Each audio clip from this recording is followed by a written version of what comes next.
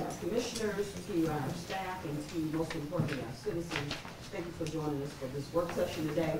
Um, public comment, clerk, I believe you said we had one individual signed up, Mr. Larry Pierce, if you could come forward. And the subject matter this morning is Christmas in the coroner. Please come forward. Oh, boy. Please be aware of your three-minute limit, and also civility is key. You know, Larry Pierce, 4120 Van Sant Road, Douglasville, Georgia. Good Morning, Madam Chair and council people. You know, it's not too often you can act a fool, but uh, I don't know, sometimes people don't take me very serious anyway. So uh, this shirt I have on is probably about 15 years old, and no, I don't wash it. I wear it twice a year with all these pins on it. But I'm, I'm here today, this is gonna be the last time this year, maybe tomorrow night, there's some good things coming up. But, uh, there was something that happened at Bible study. And Madam Chair, I'd appreciate if you'd give me just a few minutes, maybe past three. I got some good things to tell you. In Bible study, can't exceed your three minutes today. Keep going. at Bible study, uh, Joe Fowler, Paul, one of the people in the Bible there, said one night in a vision, Do not be afraid, but go on speaking, and do not be silent. Well, the other thing is, the other night I was skimming through the OJ case. There's not a soul in here that don't know about the OJ case. Well, this book about Christopher Darden is extremely interesting from his viewpoint and his life. And in it, he's very disappointed about the outcome. And I just want y'all to think for a minute what that was about and how it came about. So, in talking about things that are coming to an end, the judge has done things, other people have done things, the investigation has done things, and I'm not sure which way it's going. But I just want to let you know that in the past three months, the coroner's only put herself on call probably about 15 or 20 times, but she's only been out about three or four times. And then other issues that has taken place, signing off on certificates that shouldn't be done, still continues on. Now, in part of the situation that's going on, she went to a hospice facility to pronounce a death on a 93-year-old lady. The law says suspicious or unusual. If my mother had lived to be 93, she'd still be here. But there wouldn't be anything suspicious about in 10 seconds she would fall over. So y'all have got to start thinking about that. And this is not, as this case became, this case here became an issue of racism by a famous man of Johnnie Cochran. Slick, real slick, but you know what he said in the end? He said, I was only doing my job. He did a fantastic job. He turned everybody against what happened.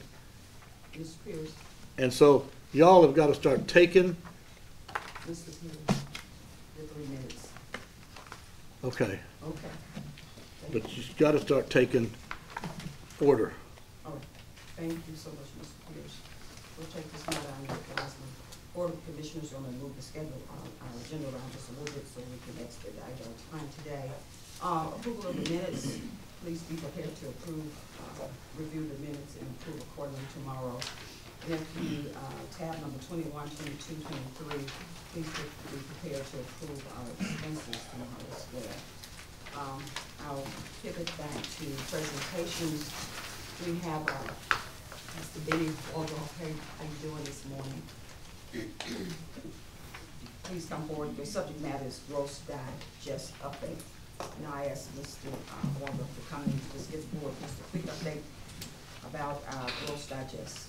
Thank you so much. You have the floor. And Madam Chair said to make it quick, so I said it'd be real quick.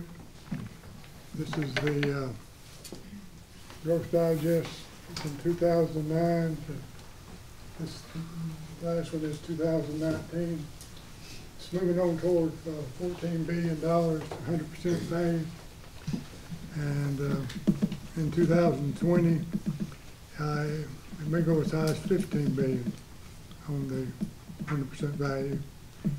Five point five right now in the digest I'm looking at, forty percent value, which is uh, fourteen point two or three billion. Course, y'all say, well, we gotta worry about the exemptions and all that, I understand that, but we look more at the big numbers. Y'all worry more about the, after the, all the exemptions come through. So things are still looking up, the economy's still booming, a lot of houses being built, a lot of vacant lots being purchased. Uh, As far as appeals, we're working through our two thousand nineteen appeals. We should have all the two thousand nineteen appeals worked to the, to the BOE level by end of January. And, uh, hoping to get assessment notices out by June the first. That's it. Okay? Things are looking good.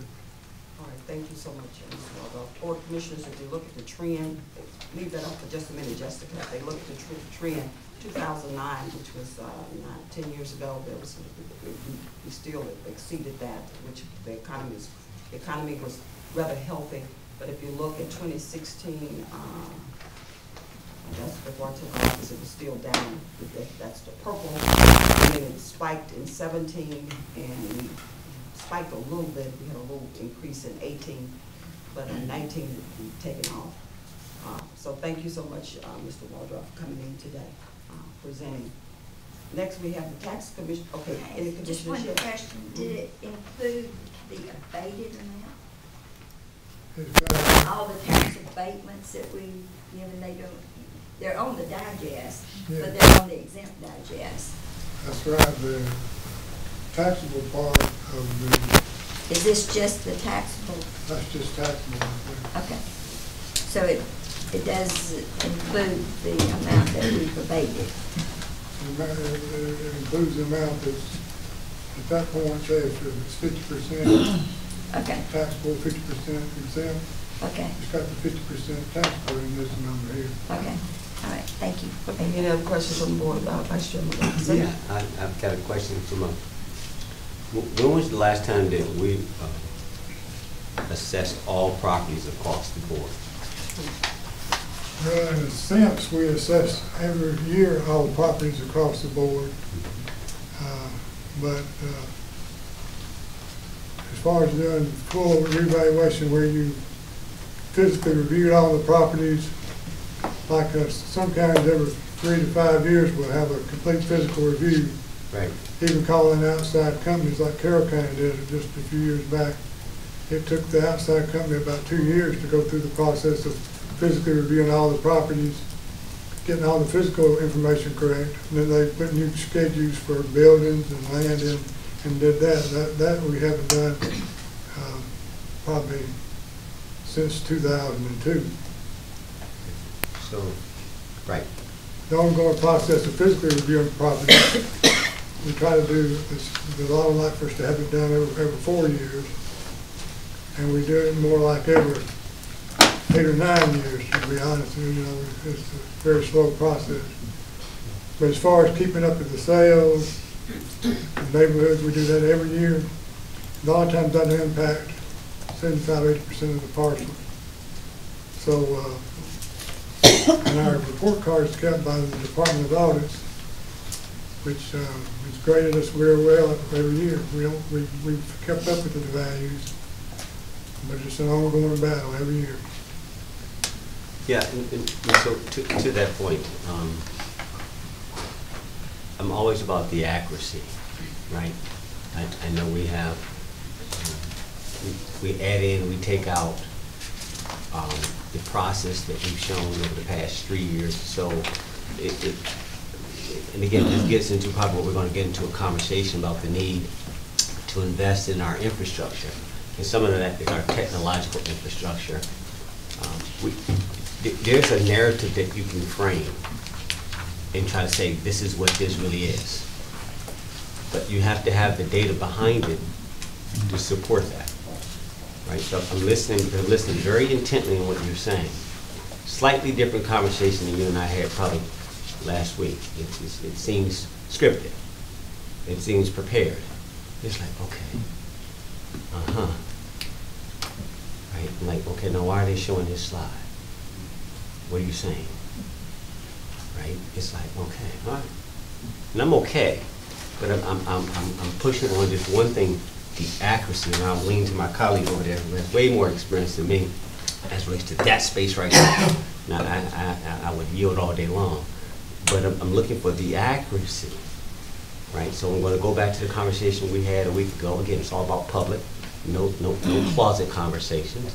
And, and you expressed to me about, because I was trying to get my feel around, was the tax commissioner solution going to satisfy the tax assessors? Because we're investing this million dollars.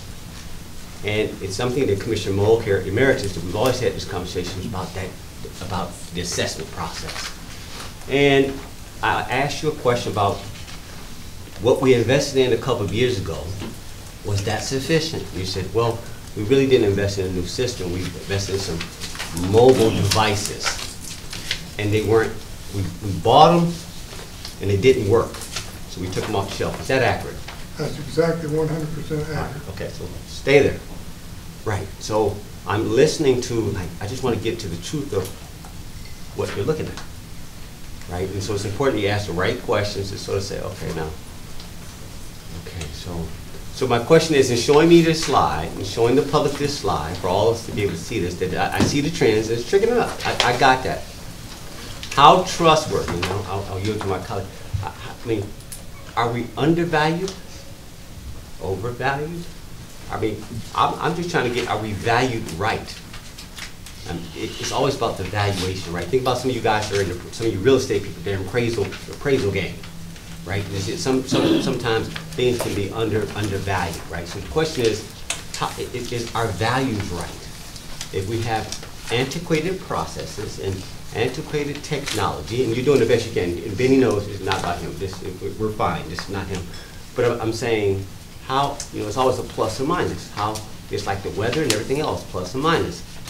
How accurate are we? Well, according to the Department of Audits that evaluates this every year, the sales ratio study, we are meeting the requirements of the state. This- The perfect uh, assessment of properties would be at point forty, which was exactly match sales. And our overall ratio for all types of property was um, thirty-eight and point two five, something like that. It was over thirty-eight. And uh, so they, state says we're doing fine. The issue of the, the new technology, uh, would not be so good much in terms of the evaluation, be maybe how it would help in terms of the process between our office and the tax commissioner's office in terms of transferring the data. Right now, it may take us two or three weeks sometimes to get the digest rolled over because of the way the systems speak with each other. Sometimes they don't speak too well. And that's, uh, not to do with the valuation process as much as the transmittal process. Sometimes there is maybe a possibility of duplication that he's concerned about that takes place. A uniform system might help that process. But as far as the appraisal software, we've used this software from, basically from the state development process since the nineties. Started out as GAP, now it's WinGap. It's got good support and the digest it's put out has been very have been approved by the state. So as far as the valuation part, the new technology may not even help that part. It may, I don't know, I'm not sure about how that would work out. We have, we have to try out the new system. But it comes in how you put the information in. As far as we put the information in, the system we've got does a good job. But the concern that we're trying to address, that the tax commissioner may speak about, I think he's already talked about it some, have to do with how we transmit our data to his side. And it's, sometimes it holds up, uh, like last year, we had to, had to roll the digest over, well, I don't know, five, four, five, six times.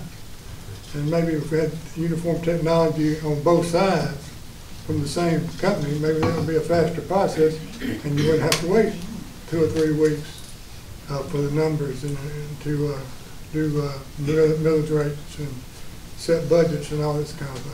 Right, so, and, and that was sufficient. My, my last point then is that I'm gonna go a little bit deeper, refine, refine your, all right, so if I'm, I'm looking at, I'm, I'm trying to value real estate, right? We'll look at the asset by itself. And then there's obviously the assets that are within it, and then there's obviously cash flows associated with the company to come up with valuation. And I'm just curious, how, how, you and I've had this conversation probably over the eleven years I've been here, several, every other year, he and I have this conversation, It's like, now, how do you calculate that?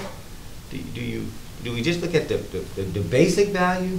Or do you get into, do we really tax people on the whole value of the company, the cash that it generates? And you and I have had this conversation, and and it got into the capacity of our, of our technology and our staff to be able to even compute that.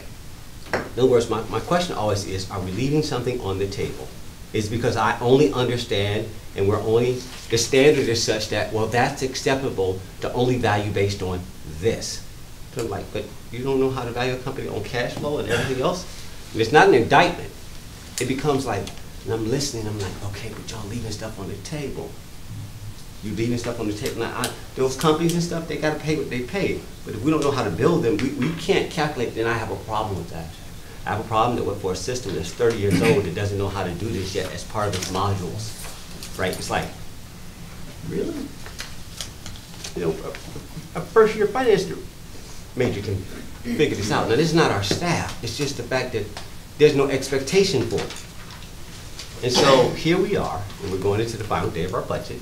And, and I keep, and this is something I consistently, I can finally bring you to a point where y'all can hear me like, uh-huh, you're undervalued. right, I appreciate the slides. Well, oh, okay, that was a perfect setup then. Not my intent, but you, you, you sh- you're trying to show a valuation. It's like, yeah, but it's a little soft. It's not as accurate as I would want it to be. And, know, all you had to do is push two questions into it and realize, oh, okay. So I guess my point being is, is that do you, and I'm gonna come back full circle, um, do we believe that the investment we're about to make in the tax commissioner, as well as that you will benefit by a secondary module, will this help us get a little bit closer to a, a- a more accurate, a, a more crystallized? Not saying that it's wrong with the state, that's not what I'm saying. I'm saying, does it get to be more clear, that I can have more confidence in it? That's all I'm asking. Will it get us there? That I don't know. If you did it, that would certainly be one of your hopes. It would, it would help you do better in the income approach and all that. That's fair enough, then. I do.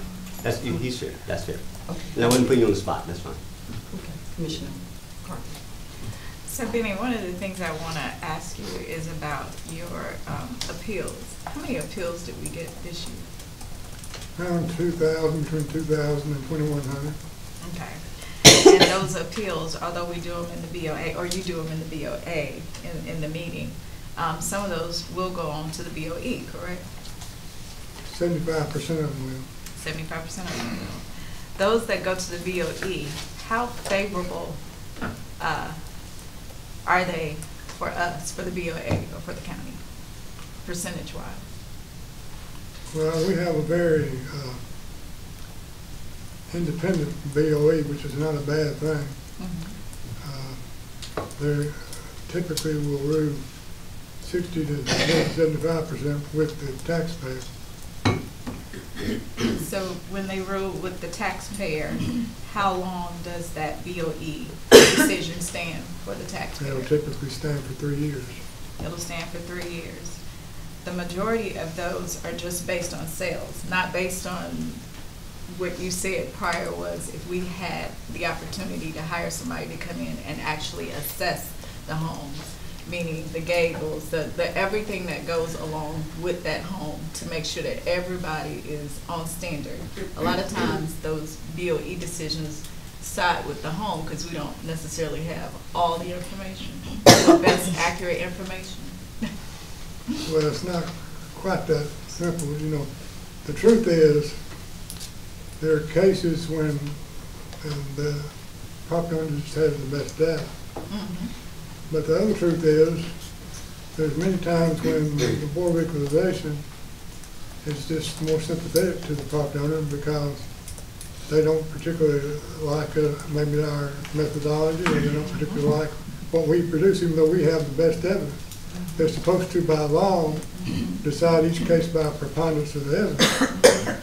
And uh, they can decide any way they want to, fine. And it's up to the Board of Assessors to appeal it to court if they feel like uh, it's excessive, their cuts. And typically, their, their cuts are not excessive, maybe five percent, ten percent. The board only takes the big ones to court, and that's typically commercial cases. Correct.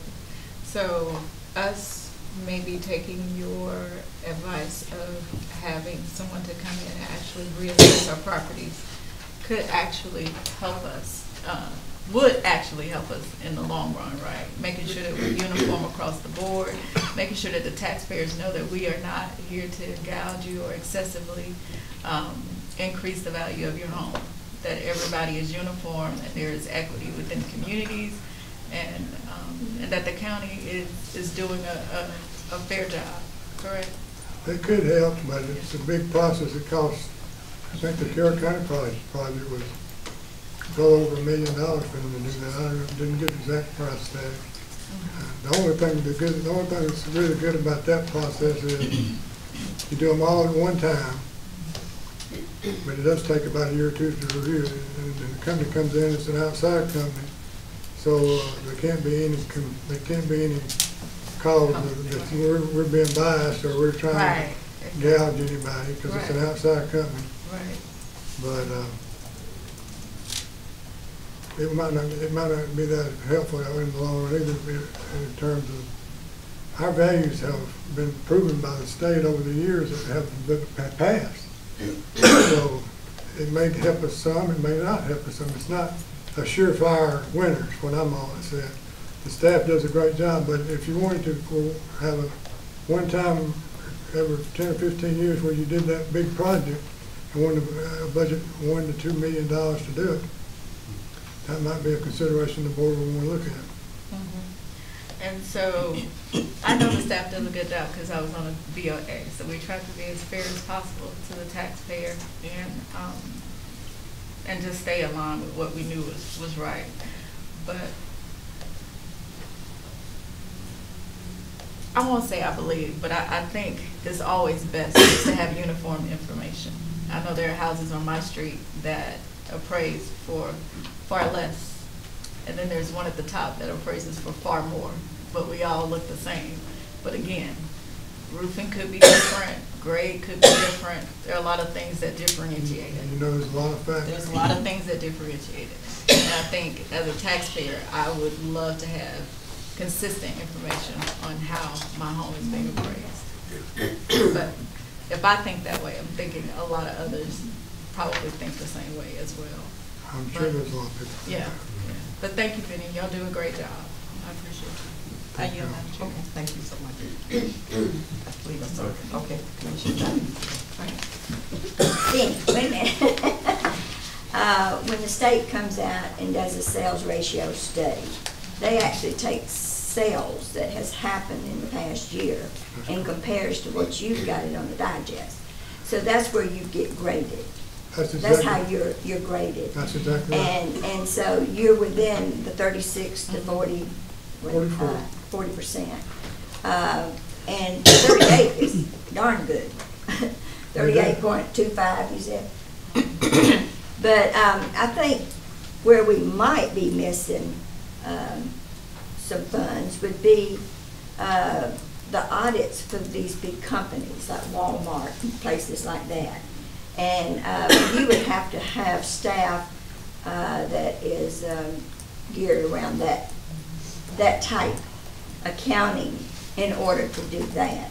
Your, um, your, their state computer system, WinGap, does not really, uh, you depend on them to give us correct figures.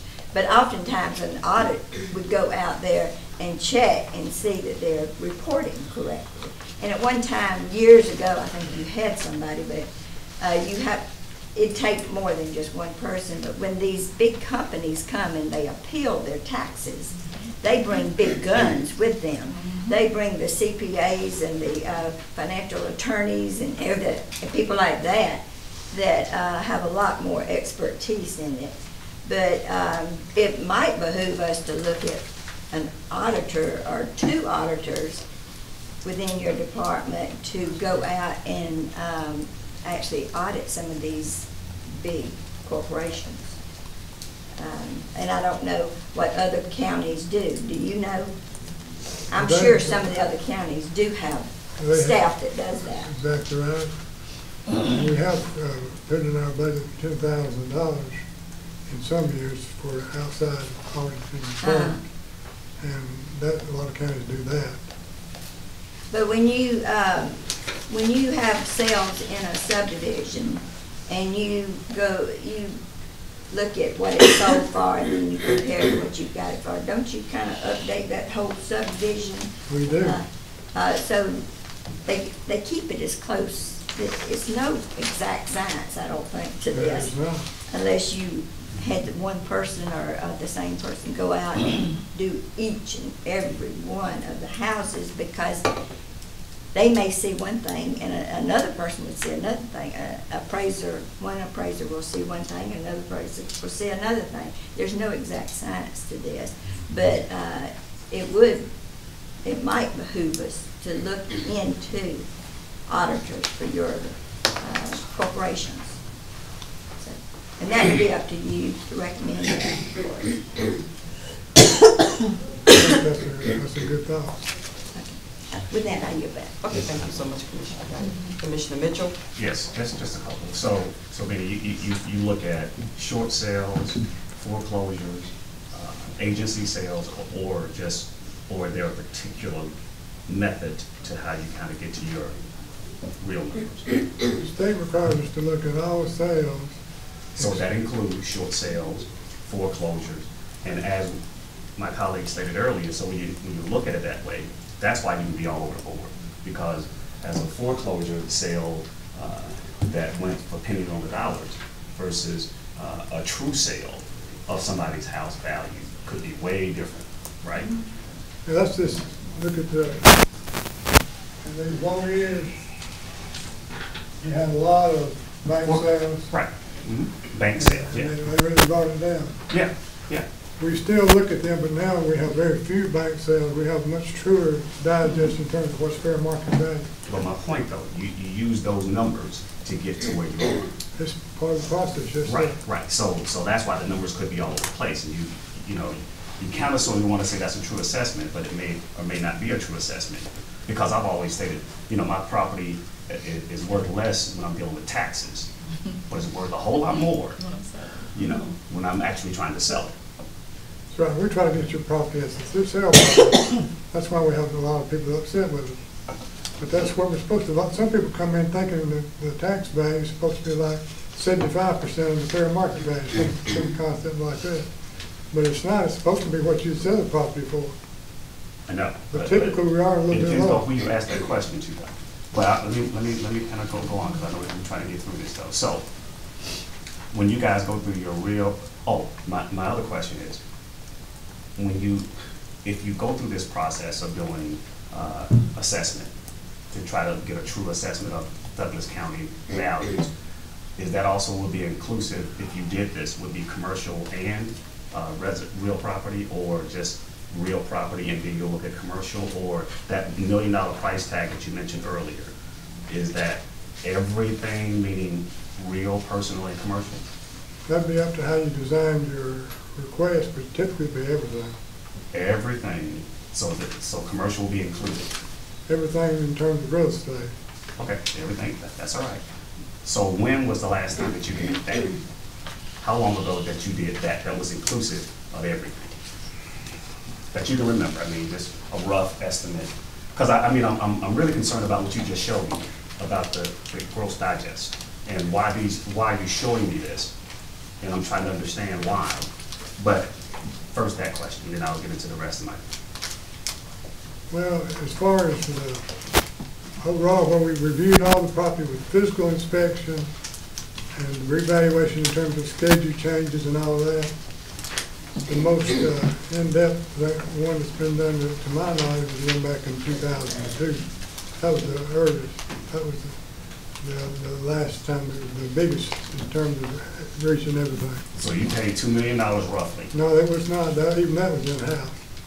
So it was done in-house. I'm not, no, I'm I'm not even sure it's ever been done in Douglas County as far as outside county Okay. coming in. That's why I didn't think it ever has been done. I just wanted, I just wanted to hear it. So, so you've done it in-house to say kind of what these assessed values are based on what little help, which is not a lot to kind of have that person, because I'm assuming from what I just heard, you don't have the bodies to pull off this, this extensive, um, uh, true real estate, uh, digest as the, the, uh, the assessed values. Because you don't have the personnel. terms of the physical reviews, that's correct, When you call a physical review, yes. okay, okay, so the physical review, you don't have, you don't have the true personnel to pull off that. So what you're showing me is what? That if you don't have the, the, the true personnel or the work to pull off something like this, why are you showing me this though? I'm showing you this to show you the trend that things are still going well as far as values going up. How true is that though? Just as true as I'm standing here.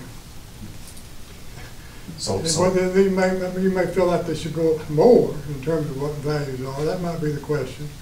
But there's no doubt they're going up, and there's no doubt according to the state that we're in line with the values of going up. We're not undervaluing property. but you only in line with the state because what you give the state. State doesn't, they pick their sales.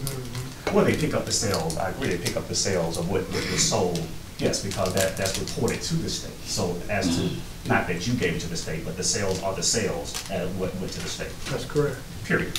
So, but the true assessed value based on just, I mean, because again, depending upon who you ask or answer this question as to what the value of each piece of real estate will vary depending upon if I'm in the market to sell it, or if I'm living there, and this is my personal residency, as to what the value of that is, because I, I, I see you guys on a regular about the value of my property. But I won't see you when it's time to sell. But we'll see your sale and where you just sell to. Oh, yeah, you'll bring the sale in, as to the sale, whatever come in, you know, as to what that is, and then, and that'll be a number that the state will receive, as well as you, to say, that's the number, so my subdivision is worth that number. Not that in my subdivision that there was a foreclosure or a short sale that sold pennies on the dollars. N- Not, no, not all the way, not, not, not, not. He's talking about what a fee appraiser would do pretty much. Pretty much, And a fee appraiser is different than what he does. Oh, I, I agree, I agree. Because, and just like she said, if I'm a fee appraiser, which I used to be, her neighbor's property could be more because I'm going inside and seeing what's Yes. inside. And so I'm built out. upping the values Yes. compared to they got tile, they got linoleum and stuff like that. Understood. So basically, a fee appraiser, I, being a fee appraiser, I would estimate that value higher Yes, than her property, because she, even though I may not have been inside, I'm gonna up that value because I'm trying to get them the value to sell their property. He doesn't do No. that. He doesn't go inside and see it. His is based a, on, a drive-by and what's sold in the neighborhood Right. and what I kind of go by and see. And based on what I see when I drove by there, not what's internally inside the house and what, all these other things that may have took the value. You know, I finished my basement out, is a whole, I mean, is a whole lot more valuable than those that are not finished, That's uh, correct. unfinished. On all new, all new construction, we, we do get inside the house, because we can go through the whole process from the time. Yes, I went up to the older houses, you know, if we didn't get them when they were built, we have to find out at the doorstep if they finished that basement out. but I'm only talking about trying to, I'm trying to digest, your gross digest of what you just pulled up as to what these numbers are, and why am I looking at this when you can only give me, uh, a non-appraised value based off of a non-appraisal, appraiser, true, you know, who give us a true value, to, to really say, oh, these numbers real, or are they just kind of based off kind of what you got, your comparative marketing analysis of what you got based on the sales that you've received, based on foreclosures, short sales and so on, or the agency sale that you just kind of got off the books and what you drove by, correct? Now, when you say drive-by, we can do more than drive-by, we go to the property, knock on the door, we measure the house, we're there at the house, we're touching the thing, we're not just driving by. We, we have And we interview the, people at home, we interview them to get the information on the inside if we don't have it properly. Got it, It's an ongoing process. got it. But you don't have the true personnel to really do an, an extensive, true uh, appraisal of each home that would give you a true assessed value of what the house is really worth, correct? Not the overall where you've had, uh, where, where people used to say revaluation, it was always, we physically reviewed all the property. We got all the physical characteristics up to date, and we got the schedules up to date based on the sales of properties. We haven't had that, no, that's correct. And last but not least, so this new software that we're looking at, trying to, to get you and the tax commissioners and others all stay all on the same page of transferring data. Do you feel confident that that, software will will be a benefit to help with some of this, not, not that this will be, uh, make it, hopefully it'll make it better, of the transferring of information up to downstairs and to the state? I mean, give me your, your, your, your thought on that, on that piece of software. Still uh, hopeful about it. From what the tax commissioners told me, it- it's possible. But I haven't had a demonstration, I haven't seen how it works. I think Cobb County's got. I'd like to do a lot more research. That's what I'd like to see. Okay, okay. And I, and, and I'm assuming, it looks like we got the tax commission gonna jump up here shortly, so I'm gonna hold off on my other questions and, and thank you, and, and, uh, we'll, I'll, I'll yield back. Okay, we're gonna move on to Board Commissioners. Thank you so much, uh, Mr. Wardrow. Board of Commissioners, the reason why I had this slide come before you today, not only is not to tout or anything about what we're doing in real and personal property in terms of our Gross Digest. It was just to show that there is better, there is further opportunity for improvement. Uh, area photography is something that we have on our list, and I thought that would still, we have an opportunity, I believe it's been, uh, 2013 was the last time we had aerial photography, and I just learned about the 2002 total uh, comprehensive assessment. So it just, that was just to bring to you all to show that we still have room for growth, but still it was just impressive to see what we're still doing without all these resources, but we need them. And it's not to say that we don't need them. Okay, next we have our tax commissioner, Mr. Greg Baker, and that's gonna uh, segue into our next discussion. Okay, I didn't do a slide, I just gave you guys pieces of paper to look at ahead of time. Yep. Um, Basically, you pretty much know what I'm asking for is software, so that the assessor's office and my office will be more in sync, that will give you uh, better information. Uh, We're not duplicating processes, if he types something in, I've got it. If I type something in, he's, he's got it. Um, it- Doesn't it really have anything to do with valuations? I believe it will help in some areas of valuation. Depends on all the pieces that we get. I'm not exactly sure yet, but I'm hoping it will. Uh, My thing was to come up here to just tell you that it's something that's needed. It will help with overtime. It will help with uh, Benny and I communicating with each other. It's one software where he has one at the state now. I have one with a private vendor. That vendor right now, we're paying forty thousand in maintenance fees when we get no support. And we call them and we'll be lucky if we can get an hour's worth of support some days. Some days it takes us five or six days to get answers. I don't think we should be paying forty thousand dollars for a service that we're not getting. Uh, That's just my opinion. I believe we're losing money. Uh, We're not collecting as much interest as we should. It's actually, Russ's people, thank you for coming over, by the way. They have been, since our last meeting, they have, Stephen has been over. Uh, Most of our systems are working now, they're not spinning. Uh, We're still losing interest on the old system. We're still losing interest, so we're losing about two, three hundred thousand dollars a year just in interest that we couldn't collect on the old system. Uh, We have somewhat fixed that. Uh, We will continue to work with what we have. Um, But basically, this is why we're asking for the new system. Now, I gave you some information on uh, fees that we collect from the tax commissioner's office on the one sheet. And and this is not to pick on you, Mrs. Geithner, like you told me the other day, so I'm not gonna pick on you. But you gotta remember, the tax commissioner office is funded by fees. Most of the fees we collect should be going towards the tax commissioner office to offset your costs to fund my office. And a lot of times we don't get these figures, so what I did is I tried to put together some figures for you to show, and this is not all the fees we collect. There's about another four hundred thousand dollars in fees that I didn't show on here. Uh, I believe the clean air or natural resources one, that's not on here. Jennifer's got a copy of this too, and she can verify the stuff. That's not on here, that's, that's about another hundred, well, eighty thousand, I'm gonna be conservative and say eighty thousand dollars a year. So that's not on here. But if you see what we collect in fees, uh, between both, in two thousand seventeen, we did about one million eight hundred and sixty-nine thousand just in fees that we collect. And two thousand eighteen is a million six. Two thousand nineteen is a mi- million five. And those fees, and I gave you the sheet, I don't think we gave Mr. Bernard one. I called Mr. Bernard on this Friday.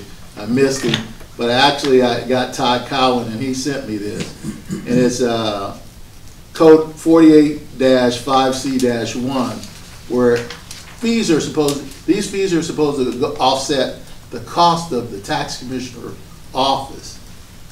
And that's what you use those fees for. But my budget has probably never been as much as these fees that I've collected.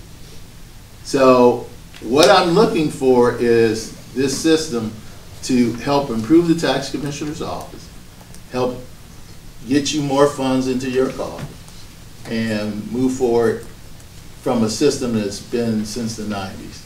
Just as Benny's system has been from the nineties, it's outdated, we need to update it. We need to move on and we need to move the county forward and get correct data, uh, for the people of Douglas County. When they come forward to either Benny office or my office, they should be getting the right information. They shouldn't be getting nineteen nineties information. And that's basically what I'm here to tell you. I'll take any questions. Okay, board commissioners, any questions or comments? Uh, Vice Chairman Yeah, again, this is, I'm I'm dovetailing back, because again, my, my biggest issue is, is accuracy. But the question is not zero sum, that it's totally wrong or totally right. I hope the public listening to this, we're not saying that. Um, it's- It's all plus or minus, it's a relative, so we- we're just trying, it's, it's it's accuracy. All right, so, so my question is, again, I'm going back to the valuation, because it's not that I want you to collect more, I want you to collect what you're supposed to collect. No more, no less. Right, so it's important that the message doesn't get lost, that we're like, no, collect what you're supposed to collect, right? Part of that, though, is our capacity to be able to calculate how much the value is, and you go collect that for us. So I'm, I'm gonna come back to Benny, this is just uh, a point of. There's, do we, do we value things based on cash flow? I'm talking commercial only. When we create, when we do our assessments, is it based on cash flow of all regarding companies, or is it just real personal property? Do you get into that level? The income, we do look at the income approach in terms of the appeal process at this point, we're not to set the value. All right, so only in the appeal. Uh-huh, okay, that's all I needed, I'm good, because that, that's material, right? It's like, okay, so you do it on a one-off, you do it in an exception, it's like, well, why, why wouldn't you be consistent? Right? I mean, I mean, if I'm gonna buy a company, we probably get to at some point, if I buy a company, I can look at it just based on the, the, the assets, or I can look at the cash flow. Right, those are two very, very different numbers. And so that's why I'm, I'm, I'm bringing something to the table, okay, but, you know, there's a difference, right? Like, I'm having a conversation with myself, I'm like, okay, but why are they doing it that way? And I understand what we've always done. And that's the way, that, well, that, they allow that, I'm like, doesn't make it the most optimal though, but, oh, okay. And that's all I, I'm saying, I'm coming from a totally different place that says, okay, y'all leaving an awful lot on the table. I'm back, and I'm listening to it, madam, got this, that commercial, like, it's not about the residential. So to my citizens, it ain't, I'm- looking at that commer, like, y'all leaving an awful lot on the table. And you only do it when somebody comes and they're appealing, then you wanna go through, it, you get it out, like, why don't you, why isn't your system doing it always? Why doesn't the system do it? Why do you even have to get your pencil out and do it in an exception matter, in an appeal? Why doesn't it do it do you say, uniformity across the board. Right, And so you don't have to answer, it's more rhetorical. We're, we're, we're getting our minds around something else. It's okay. Uh, but you go answer my question. I yield, I'm good. Thank you. Okay. I'm good. Commissioner Biden? Yes, I, I'm a little confused, uh, with the conversation, the way it's going. Does your, this million dollar software package, does it include his appraisal part? Yes, I mean, it's going to appraise property. it's gonna help Benny with that process, yeah. It's gonna help Benny. He's coming off of WinGAP. Right. Did you know that? Yeah, we've, It is a possibility. Yeah, we've talked about it. So, uh, it's gonna take the place of WinGAP. The system that you're buying is both his appraisal and, and your collection. Correct. And we keep saying a million dollars, it's not a million dollars. but- Well, it's nine hundred and seventy-six No, no, it's more like so eight. near. It's more like eight. I hope so. But, um, I, I was confused whether or not, because the way he was talking a while ago, it didn't seem like it was gonna affect He was his saying, he was saying the valuations. He was That's talking what about I'm the talking about, his appraisal department.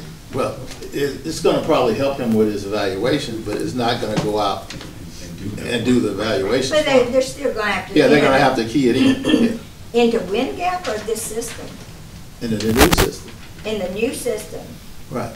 or he's gonna still use WinGAP and just read it over to the system? Now, he's gonna get rid of WinGAP at some point. Good. Okay, I did not know that, because I knew that, uh, the state furnishes WinGAP. Yes. And I was not clear whether or not it included actually his appraisal Right. department. His- He will totally get rid of WinGAP after, the- it takes about sixteen months Okay, to convert everything. but it's all under this Yes. software package that you're buying? Yes. Okay, I just need It is. clarification. And we're, and Benny and I, we're scheduled pretty soon to go to Cobb. We're gonna hit Cobb and I think DeKalb, to make sure it does everything that we want it to do, which I'm ninety percent sure because I've already looked at it. Benny's gonna, we're gonna take a trip down, we're gonna look at it, we're gonna talk to the appraisal department again over there also, so we're gonna do a thorough, thorough evaluation. But it is a system that most of the counties and tax commissioners are going to, when we go to our conventions. Um, This is the direction that they're going. Most of the counties are getting big or as big as we are, so they have to update their systems because, as you know, WinGAP's been around since you've been around. Uh, Well, And that's that- not that was bad, but after the it's just an older 2000 system. That was after two thousand, Yeah. but we, we had, we bought the system, I mean, they gave us the system. Right. And then we added modules to it, uh, Right. because we were taking partial payments at the time. But that system at the time was the state of the art. Right. And we actually, when they keyed in changes of address down there, we opened a door every day, rolled it over into our system, so we didn't have to key what they had keyed. So it, it worked at one time, but I don't know, I know Stan the man Well, that I dealt Stan's no with. longer there. When Stan the man left, it went down. Right.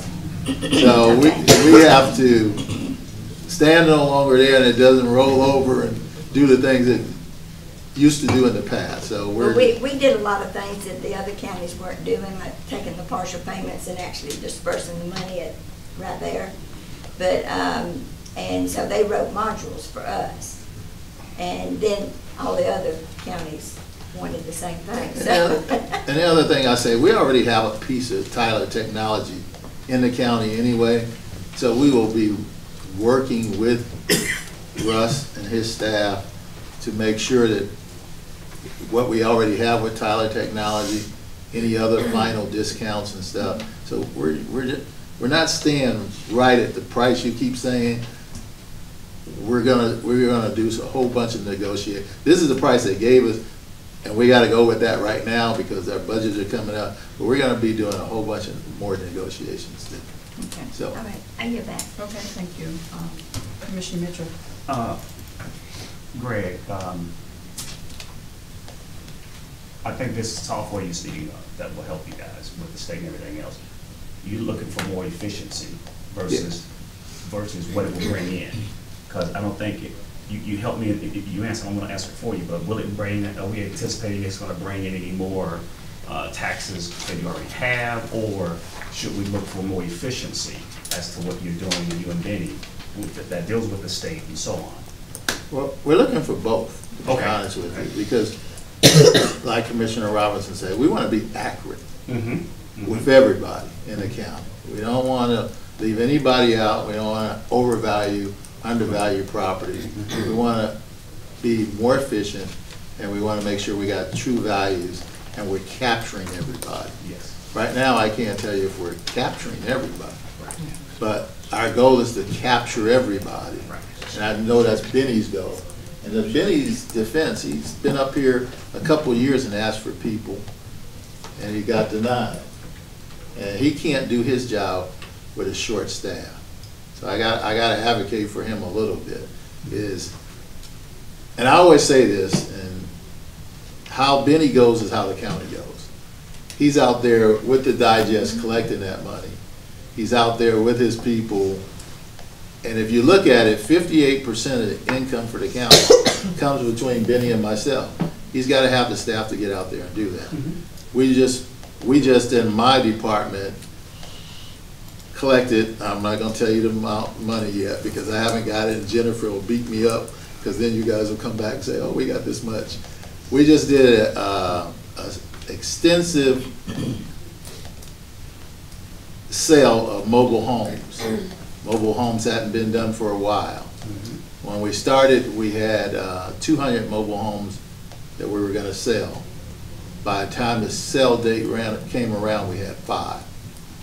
Everybody came in and paid on their mobile home properties. That Some of them haven't paid since 2000 and, I think, 15 or 12. They actually found mobile homes on properties uh, that were way back in the woods. I don't know how, know how they got back up in there, but they did.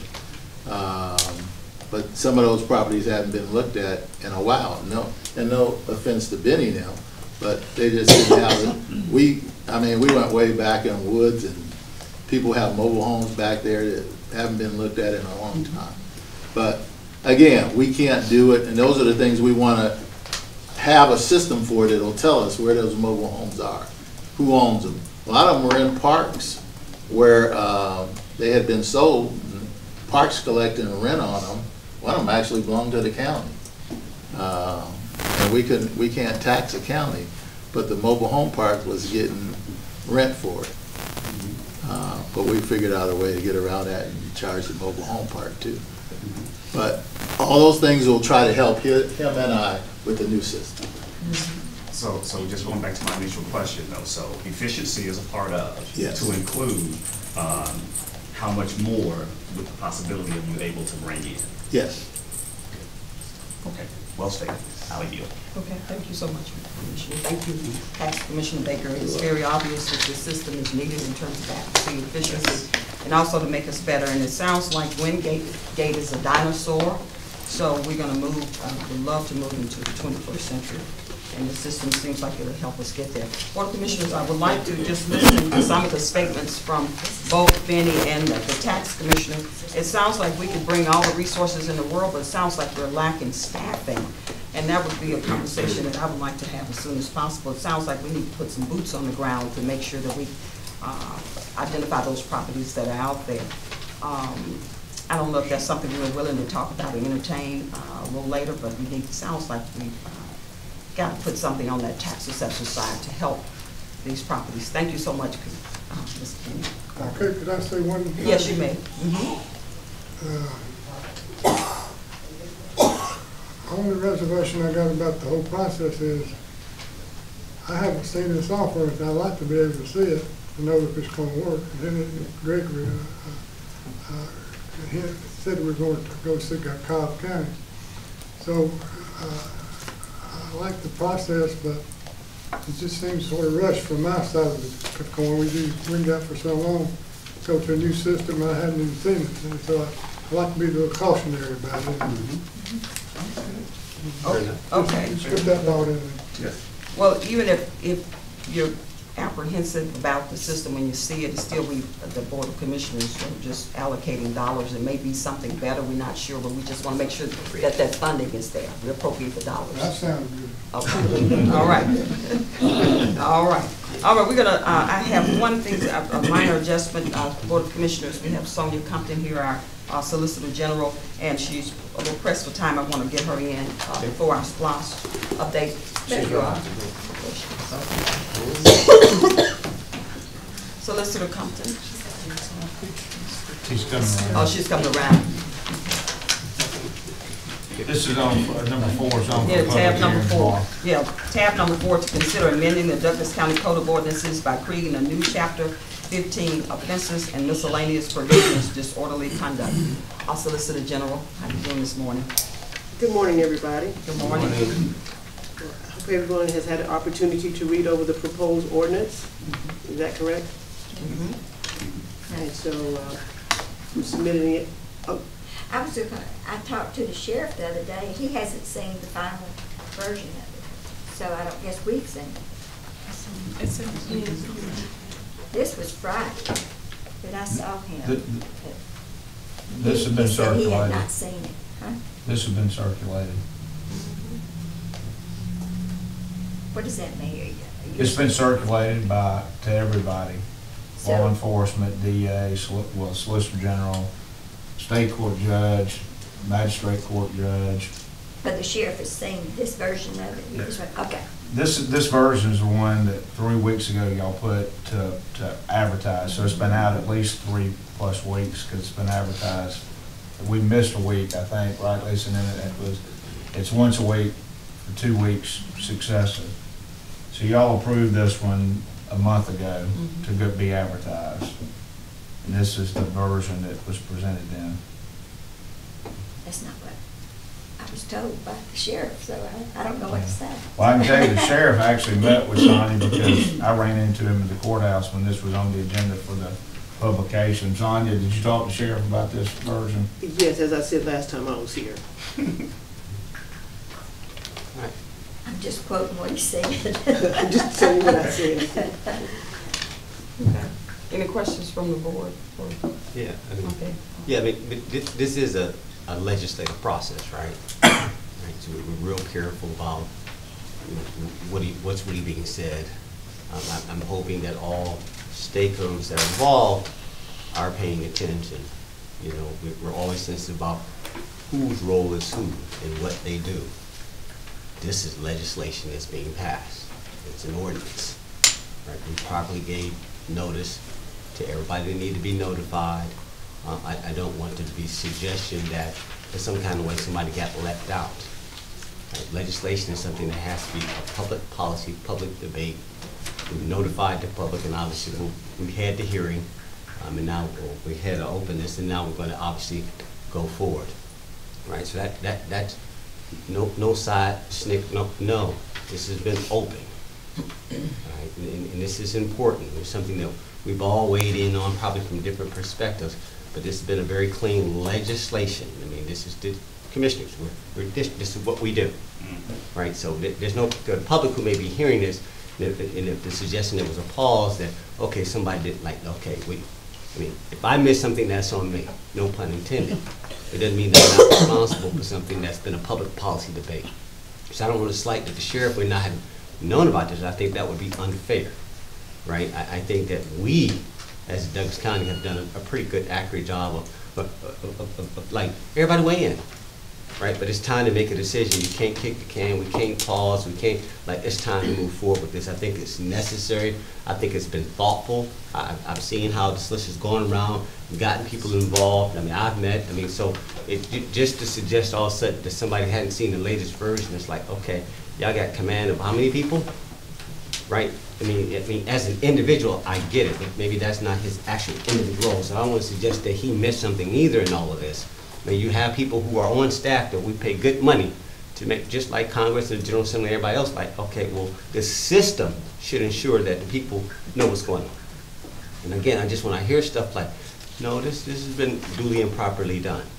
So I just want to acknowledge the, the, the suggestion that, oh, so- somebody didn't see it and we didn't talk, like, come on, guys, this is a system. This is a process. Follow the process, it'll work its way out. I yield. Okay, thank you so much, uh, Vice Chairman. Um, Commissioner Mitchell, your hand was up first. Okay, that's fine. Uh, So, so, uh, uh, not use first on, let me, let me ask our, our legal. Legal, you've had a chance to kind of review, uh, come up with, or add to, change, cross the Ts and dot the Is, correct? On- Yeah, uh, I have, and, and I would say, um, I will personally call the sheriff and verify before tomorrow that he has seen this version. Right. But I think that everybody that's been included, included judges, uh, state court judges. Um, I've talked to sheriff personally about it several times. I've talked to Chief Connor several times about it. But I will make sure that this version has been read by the sheriff. Right. Uh, and I've had meetings with the sheriff and Sonia as well, so. Bobby, Bobby, yeah. you, you haven't got any other comments on that, right? Y'all have looked at it? Okay, all right, good, good.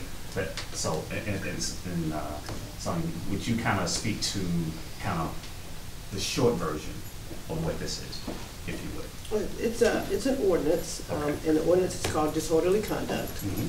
And what it does, it addresses um, several incidences, um, um, like possession of alcohol, um, like someone who's, we call public drunkenness, Mhm. uh, disorderly conduct by being disruptive. And what it does, and also marijuana, what it does, it allows us to reduce those from a state code to a county ordinance. Um, However, under this ordinance, they're still required to pay a fine. They still can be placed on probation for up to six months. The only benefit for a defendant in this is that it will not be on their criminal history. But the punishment is almost the same, almost the same, except we can only go six months probation as opposed to twelve. But the fine, the maximum fine of thousand dollars is still in place. Got it. That way, the reason we included the marijuana is because right now, we're not able to test it to prove that the substance is in fact marijuana.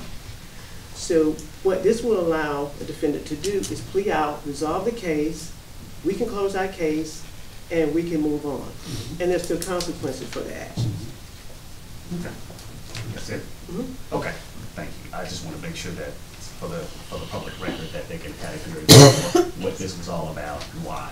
And, um, and from your knowledge, uh, not like I'm putting you on the witness stand to say who, who's received this or not, though, but from your knowledge, those that needed to receive this have received this. Absolutely, Okay. yes. And, and you've done your due diligence in trying to at least communicate with, with those who need to hear this. Yes. Okay. I yield back. Okay, thank And you. and so not like some counties, some counties are just not prosecuting these cases, they're just throwing the stuff away. Got it. We're not gonna do that here, Uh-huh. but we don't want to. And that is why uh, we came up with this proposal. Understood, okay. Okay, I yield back, I'm done. Thank you so much. Um, And Commissioner I- I apologize, apologize to you, but I was just telling you what someone, it came from the horse's mouth, okay? And he- accepted. He was in- indicating he had not seen the latest version. He still had some problems with it. So that was my, I was just repeating that, okay? Um, and I told him he needed to be at the meeting if he did have problems with it. Right. And, um, What so, Bobby is, we blame Bobby. No, I'm just kidding. Just kidding. I'm just quiet, sitting over here. but if, uh, you have a state law and then you have a county ordinance, what's the difference in the, the two, uh, would, would the person be, choose to go with the county ordinance instead of the state law? I don't know how that would work. Okay, well, let- let me try to explain it to you. Right now, when it comes to marijuana, you have to prove the THC level in a marijuana. You understand that part, right? Mm-hmm. Well, right now, we do not have in Douglas County the equipment to prove that a substance, a plant, is actually marijuana. We cannot test the THC level. So even though we know it's marijuana, we can't prove it legally in court.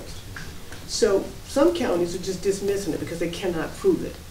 So what we've come up with is an alternative, because we cannot prove it on the state level. So we're giving a defendant the opportunity to say, well, hey, now you know it's marijuana, Mr. Defendant, you know it.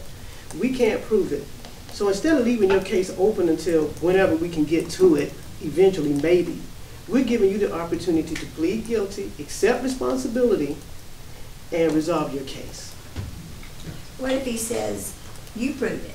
I'm like, okay, well, just get in line and wait. Oh, I'm sorry.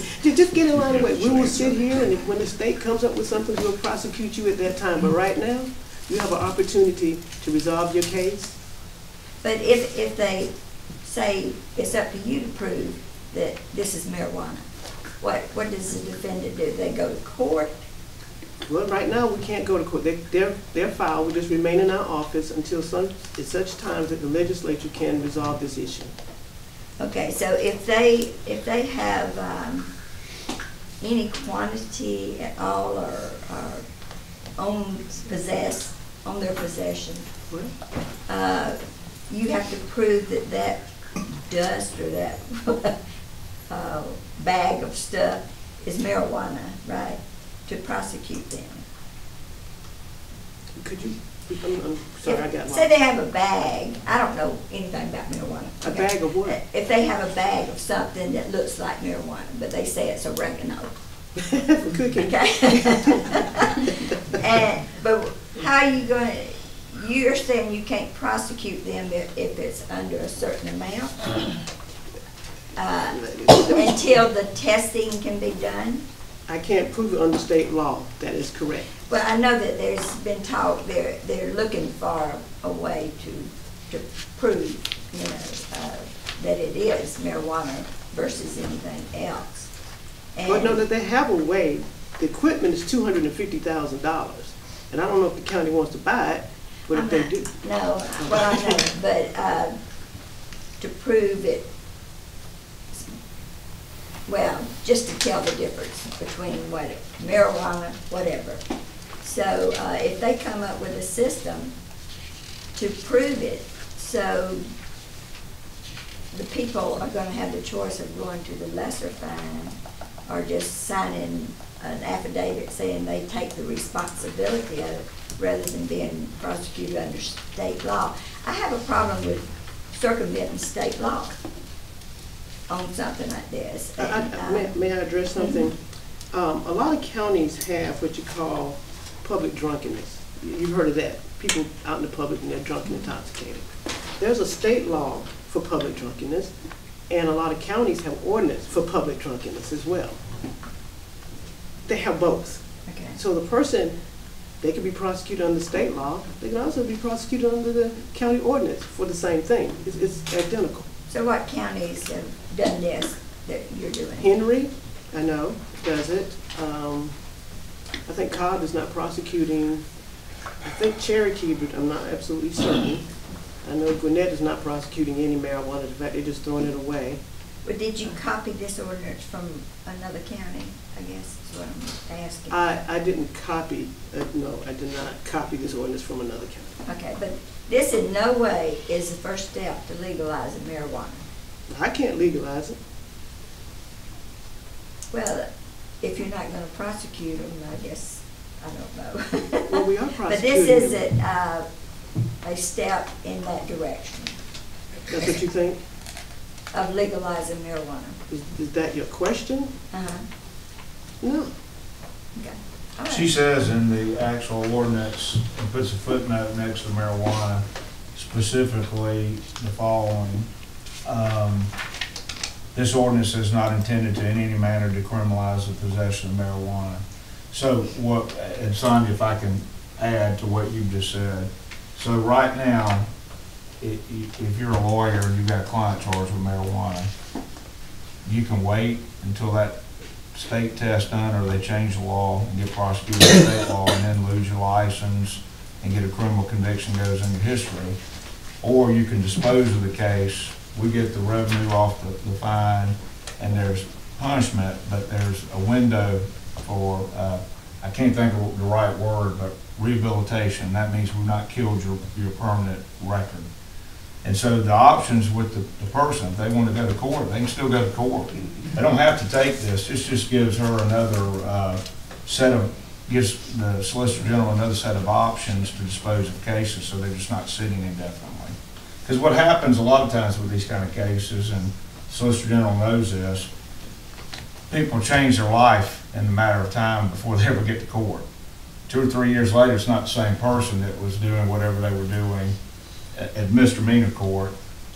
And this gives them an option to get, get them on the road to rehabilitation, which the whole system, the whole rewrite of the Justice Code by Governor Deal was intended to move towards this, is, uh, is giving people second chances. But in this case, what it is, is clearing her docket, so they're just not sitting there.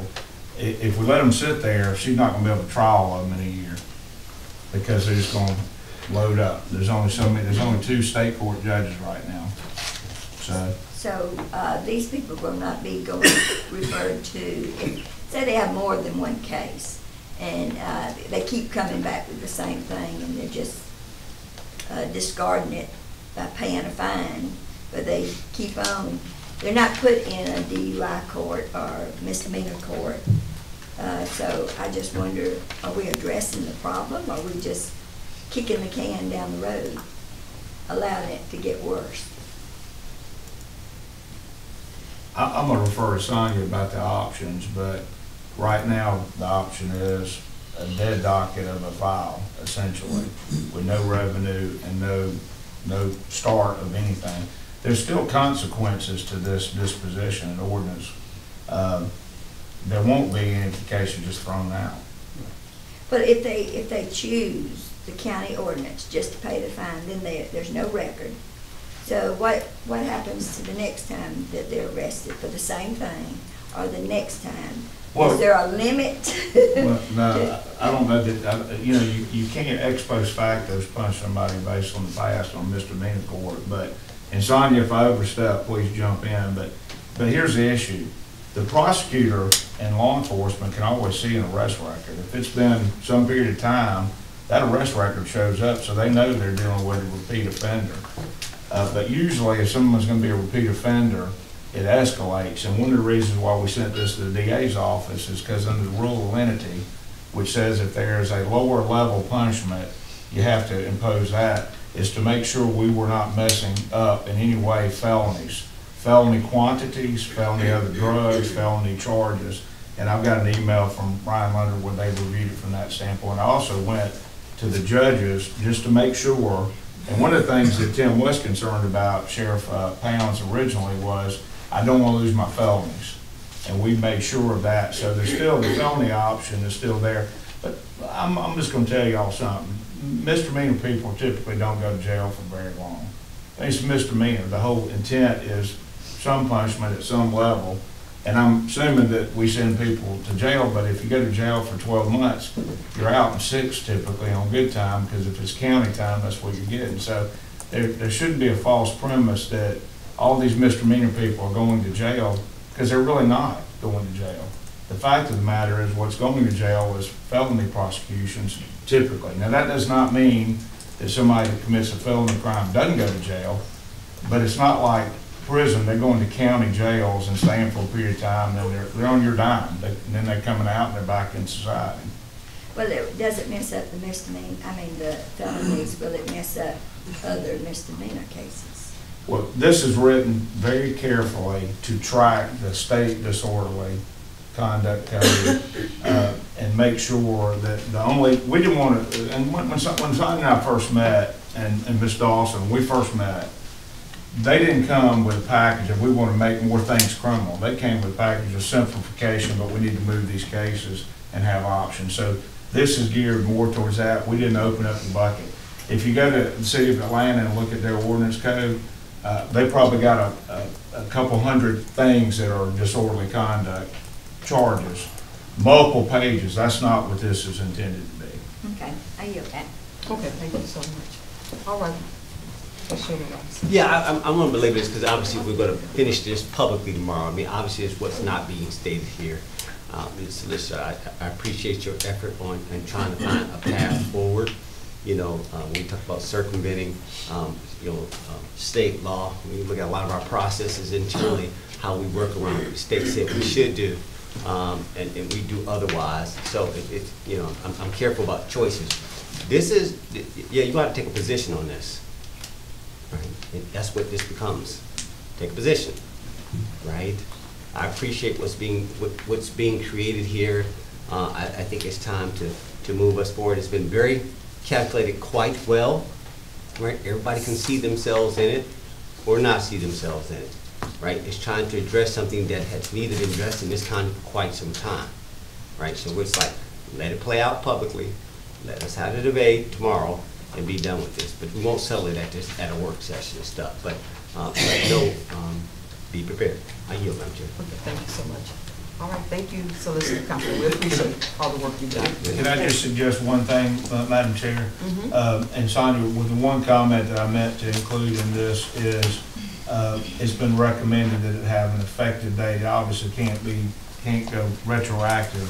So the only question for this board, if it moves forward, would be, is the effective date uh, upon approval tomorrow, or is it effective date January 1 or June? I think uh, Madam Solicitor may want it effective as soon as possible. Is that right? Yeah, um, tomorrow, if if it's voted on, on the So- it's So if, if that were the board's choice, we would, if the board would allow me, I'm gonna put effective and put tomorrow's date for purposes of y'all's consideration. That way, when it's on the agenda, you know the effective date of when it would go forward, because the whole intent is to get them now, not wait. Okay, But it, that was pointed out by one of the judges. that's fine. Okay, thank you. Thank you. All right, board, I'm gonna try to sneak a few in before I call for the SPLOST, and they're pretty self-explanatory, and hopefully it won't generate a lot of discussion.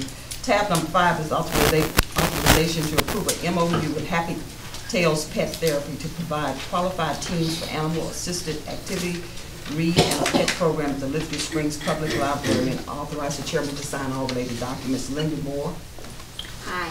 Um, This is in line with several other contracts that we already have with other organizations, Caring Paws, Reading with Rover, Reading Paws. Um, What this program does is it brings in certified training, um, certified um, therapy dogs and allows children to come in and read with them. Um, They usually sign up in advance and get about 30-minute blocks. Um, We have these at all of our libraries um, through various different, um, different organizations. Um, And this helps children to, who may be nervous about reading in front of adults. Um, The dogs are nice and they don't criticize their reading abilities, so um, this gives children uh, more confidence in their reading abilities. So, and it's, it's a really nice program. Okay, thank you. Any questions from the board? Thank you. Thank you. Have a great day. Number six, authorization to approve change order number seven with the Motorola Solutions for the Public Safety P twenty-five radio system, and the chairman to sign all related documents pending final legal review. Uh, yes, ma'am. Uh, a couple of commission meetings ago, I came, uh, with change orders five and six. We should have had seven on there as well, but we were hoping we would have the tower and Fairplay built, uh, and wouldn't have to do this, but, uh, we're still waiting on the final approval from the FCC to get that tower built. So what change order number seven does is change the final acceptance date to April thirtieth of twenty twenty instead of earlier like it was supposed to be. So there is no uh, monetary change, it's just a uh, date change. Okay, thank you. Any questions from the board? All right, move on to the next one. Authorization to approve, thank you, chief. Thank you. Authorization to approve a contract with AT&T for the AT&T Viper E nine-one-one ready, uh, I'm sorry, E nine-one-one telephone system for the backup E nine-one-one center and authorize the chairman to sign all related documents. Director Whitaker. Yes, ma'am, thank you. This item was in our uh, 2019 budget. Excuse me. We've been working back and forth with at and t on the contract, and we finally have the contract back for at and t This is to uh, upgrade our um, backup 911 center from the old Lifeline Positron system to the new at and t Viper system that mirrors the one in the current 911 center. Um, uh, at and t is no longer going to maintain or um, uh, carry parts for the old system. This, as I said, this was in our budget. We've got the contract back from at and t pending legal review. We'd like to move forward with it as soon as we can. Okay, thank you. Any questions from the board? Thank you so much, Director Whitaker. And last but not least, we'll try number eight, authorization to accept a donation for Keep Georgia Beautiful slash Georgia Power in the amount of four hundred and seventy-five dollars for uh, Keep Douglas Beautiful and amend the budget. Um, Director Stanley. Good morning, Commissioners. Um, this was originally a five hundred dollar donation from Georgia Power. However, Georgia Power cannot, um, give money directly to a government, so it would have to go through a five oh one C three or five oh one C six. Um, we are not set up that way, so Keep Georgia Beautiful will act as a pass-through for any of the Keep Georgia Beautiful affiliates. So they take a five percent fee, so that's why you see four hundred seventy-five dollars, um, listed. But, um, so it is a, it's actually a donation from Keep Georgia Power to help with some beautification projects around the county. Okay, any questions from the board? All right, thank you so much. At this time, we will um, segue into the SPLOST update. Mr. Terry Gable, please come forward.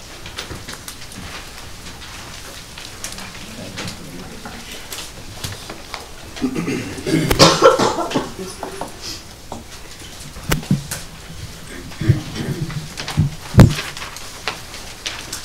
morning, Madam Chair, members of the board. Good morning. My name is Terry Gable with Moreland Altobelli, and I'll be doing, doing the uh, SPLOST update for December. And I just want to say happy holidays to everyone else in the room before we get started. Uh, So um, this will be an update through November as far as work and invoiced, uh, invoices going out, and it'll be, I'll be reporting on the October reven, uh, October revenues. Uh, And I've, uh, to try to shorten the presentation some, I'll I'll only be presenting on those projects that actually had a change. If you happen not to see one in, in the presentation, if you got a question about it, please let me know, and I'll, I'll, I'll address it too. So with that, we'll move into it. So, um, through November, we've invoiced, uh, approximately point nine million dollars, right, thirty-four million dollars. Uh, the biggest part of that was a, a payment to Motorola as we're finishing up that um, The radio system, we're making the last few payments to Motorola, obviously keeping a retainage um, for them to complete that, uh, that big project.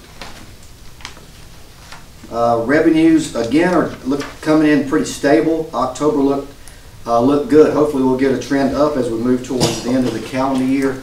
We were at $2.19 million. Uh, The original projection was just, again, was just a little a little over $2 million.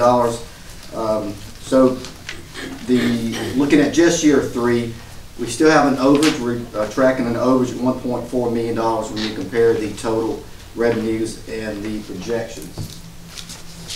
And just looking at it from a graph standpoint, again, it's just staying above that, uh, the solid line, uh, which we've done very well this year.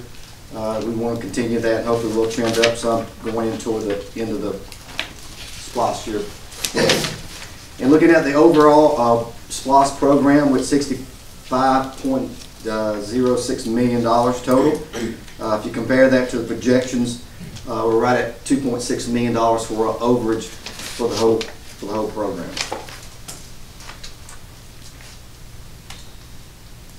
And with that, I'll move into uh, a few of the project updates. The chief just said, um, of course, everybody is, uh, is we're waiting on the letter from the FCC uh, to get into the hands of uh, Motorola so they can complete that tower uh, and at South Douglas. Everything is done there basically, but it's going to take about two weeks to finish it. They were hoping they could get it done uh, before the end of the calendar year, but as that letter lingers, uh, we're probably looking at that work being done uh, the first part of two, uh, 2020. Um, testing is ongoing, and everything is checked out so far from the testing that TUSA's done with Motorola and the chief staff and, and the, the sheriff's department. Everything's checking out with the towers that they can check. Obviously, with that one tower in South Douglas not being available, it does tie in with a couple other towers, so they can't do a complete test of the system. Um, we're there, we just gotta get that, uh, gotta get the letter, and Motorola is, is, is, uh, done a lot of work to get it to this point, and we're looking forward to getting that, uh, one tower completed. Um, the final test, as we said, will be at, uh, will be in the spring, uh, when the leaves are on the trees to get a, a true reading.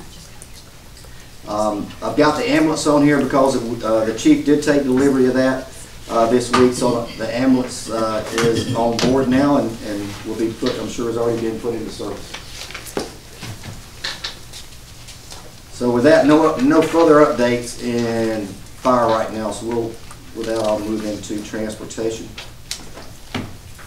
Uh, The resurfacing program and LMIG program for 2019 is completed. Uh, C.W. Matthews did get all the work done. Uh, The only thing remaining is the striping, that they'll do that uh, as soon as weather permitting, they can get back out. So that's good news, um, and getting all the resurfacing done by the end of the year, which is their- their contract time. And we'll close that project out, and um, Miguel is working on uh, our list for uh, 2020, uh, LMIG and, and the SPLOST program. Sweetwater Church Road at Doris Road. This is the one that we've had let, uh, have a contractor on board. We were just waiting on a notice to proceed. Uh, For the contractor is, uh, Prime? No. Sorry, the contractor. I Lost, lost my train of thought there. So, but we've got a notice to proceed with the contractor now, and we're looking forward to him starting work any day now, obviously the weather permitting, um, and get that project started and get it wrapped up this, in 2020.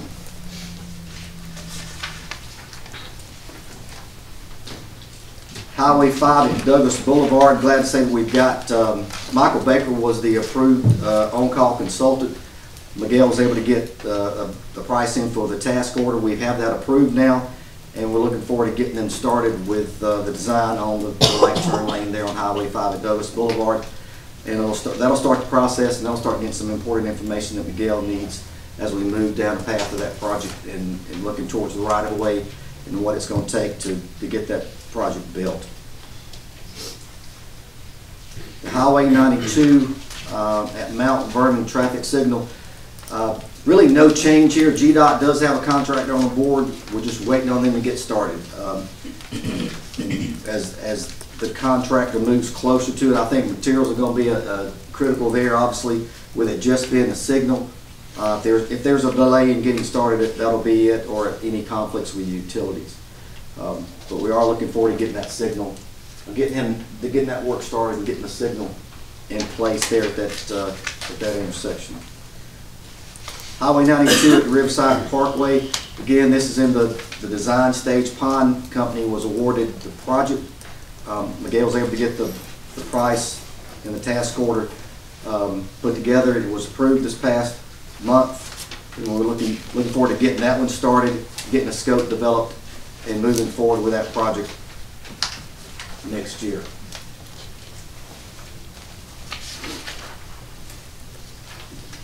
Maxham Road uh, sidewalk, this is the one I'll start reporting on. Um, It's, been- previously, it's been the three sidewalk projects at Lithia Springs, Chestnut, and and New Manchester High. This is one that's on the, uh, the SPLOST list. Uh, Miguel did go, we, Miguel did decide to go ahead and use one of the on-call consultants for that. Lowe Engineers was awarded the project. Task order's been approved, and we look forward to getting them started with the design uh, for the Maxham Road sidewalk. Uh, This project will tie into the intersection project that's already let uh, there at, um, it's, yes, uh, State Route, that's State Route Six, I guess that's what it was. Yeah. State Route Six and Maxham Road, which is the uh, project we partnered with with GDOT. Uh, This project will extend it up to the Cobb County line, just the sidewalk.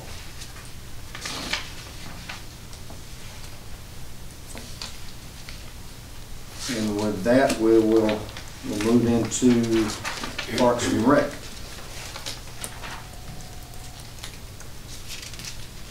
Um, So we've got, uh, Integrated Construction was awarded the bid for the, for the tennis courts.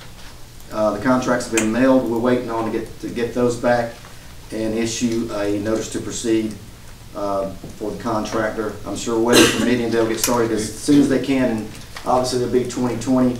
Um, We're looking forward to getting the contractor started and getting those tennis courts on the way and getting them completed next year. And the same thing with the, the, the multipurpose rec center. Uh, this was let also with the, uh, with the tennis courts as well as the senior center. Uh, Ray Lynn out of Carroll County was awarded the bid. The contracts have been mailed, and we're looking to get the notice to proceed any day. Uh, and we'll get, get that contract officially started and get everything underway. Uh, start, uh, start construction on the rec center. Um, I know everyone's excited to see that one get started, um, and we'll move forward with that once we get, uh, get him on board. And then lastly, in parks, uh, as far as contracts being let, Headley Construction was awarded the, uh, the senior center project. Again, contracts have been mailed, and we need a notice to proceed to get them started. Uh, And we'll have those, uh, them get started first of January, and uh, we'll look forward to getting that one underway. And and I was telling the commissioners earlier, we're, we'll plan a, um, a kickoff of these projects, a groundbreaking for all three of these, and David Good will be working with Rick and of course the board and getting some schedules set up uh, to do that for all three of these projects uh, in the first part of 2020. So with that, as a short version, I'll, um, I'll open it up for any questions that the board may have. Any questions from the board or comments? Quiet. No, no questions. Thank you. What was that? Merry Thank you. Christmas. Um, Is, is, uh, Mr. Good, do you have anything for us, uh, David Good regarding uh, updates? He doesn't have a presentation, but he may have a few comments. Thank you. The only thing that I really have to say is that a lot of people are really interested in what we're bringing in 2020. Uh, they've heard both about the budget, they've also heard about the projects coming on. So I've, you know, been able to talk to people, talk to businesses, and that's really where they are now, is just excited about it. And then they also want to see what type of economic development is going to come around some of these projects, because I've been told that some were like, hey, you know, this project is here, but where are eateries, you know, where can we go for different places? So that's really what's pushing now, is people really wanting to see what can be built alongside of all these SPLOST projects. And then the intersection, they're really happy about Highway five, they know that something's going on, so they're just ready for it to be done, and that's about it. Okay. I mean, any questions for me? Okay. Uh, Vice Chairman Robinson, I believe you have. Yeah, I mean, but you, you, you, you are gonna pro- um, provide a year-end report for the section of the SPLOST that you normally do? Or we get it maybe next month, and it's okay if you don't have it today. But I, I just want to acknowledge, right, there's a lot that's going on in the county, right? It's exciting. You finally got some verticals that are going up finally, and I, I- all I call is Miguel constantly off horizontal, and I forgot that, you know, we finally got verticals going up. And, um, you know, we're, we're, it's a good thing. Um, you know, I'm, I'm encouraged to see Ray Lynn, um, a firm that traditionally has, um, uh, fed at other jurisdictions here in town, got a, a nice bid here in, in the county. And and I, I like to see, right, everybody has an opportunity, right? I appreciate the processes that we put in place with disadvantaged business enterprises. I, I like that our staff is be- becoming a little bit more deliberate in our evaluations and things that we do. There's a consistency. So I, I think that as I acknowledge the outside, I'm also excited about the inside, saying, okay, it's lining up. That it is what the public expects, right? There's this consistency and uniformity. So I appreciate this, this, this dialogue. Because again, while they see it, sometimes you gotta know how it's done.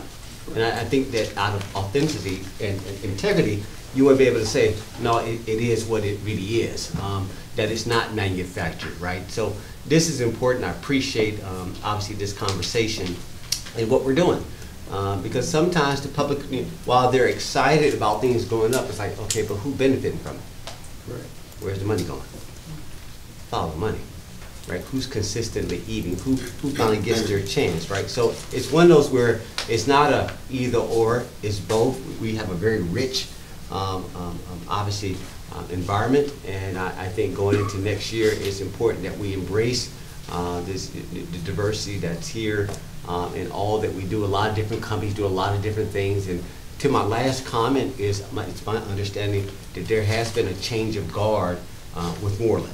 And, and so this is more of a legal um, as well as administrative, Madam Chair, that I would, and I'm, I'm segueing, but like with anything, there's always evolution.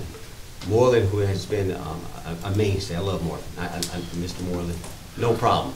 Um, It's been a mainstay, they've been acquired, it's my understanding that it's formally, all right, so with that, that has an impact, okay, so where'd my contract go? And what does that mean for this SPLOST? And it's more, it's not our staff, it's not David or Terry's issues, but uh, Madam Chair and the county administrator, all, all the board collectively needs to know, okay, so what happened? Uh, are there any conflicts anywhere else? And not that it's a bad thing, I just want to know, okay, who this big company is that was, uh, that went through uh, an aggregation of other companies. And it's like, okay, so who got taken out? This is engineering, so it looks like there was a consolidation. Okay, so that means that now it's gonna get less competitive in certain areas, while I know there may be some, like, okay, well Douglas County, I'm gonna like, okay, look at the consolidation that's happening. Uh, we, we need to know what that is, so, um, some kind of way, we, we need to understand what the impact on this contract was.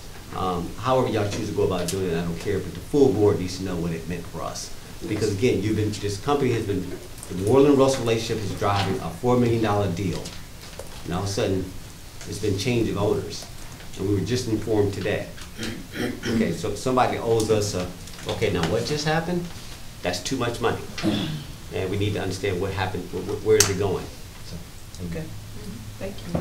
Um, Mr. Gates, could you speak to that, or David? Well, yes, and, and, um, I believe Atlas is the new company. We'll, uh, I will get, I'll go back and get with, um, the, uh, The new Buddy hires. Grattan and Vicky Moreland, and commissioners, we, I've talked to the commissioners previously, and we'll, we'll present a formal presentation to the board. Uh, as soon as I can line that schedule up, we'll do that in January, and go through it in detail and give the board an opportunity to ask questions, uh, concerns that they may have, but I thought it was a very good idea, and we'll, we'll, I'll set that up and, and get it on the board schedule for January, February, as soon as I can do it. Okay, I believe, uh, uh, purchasing director has a comment too.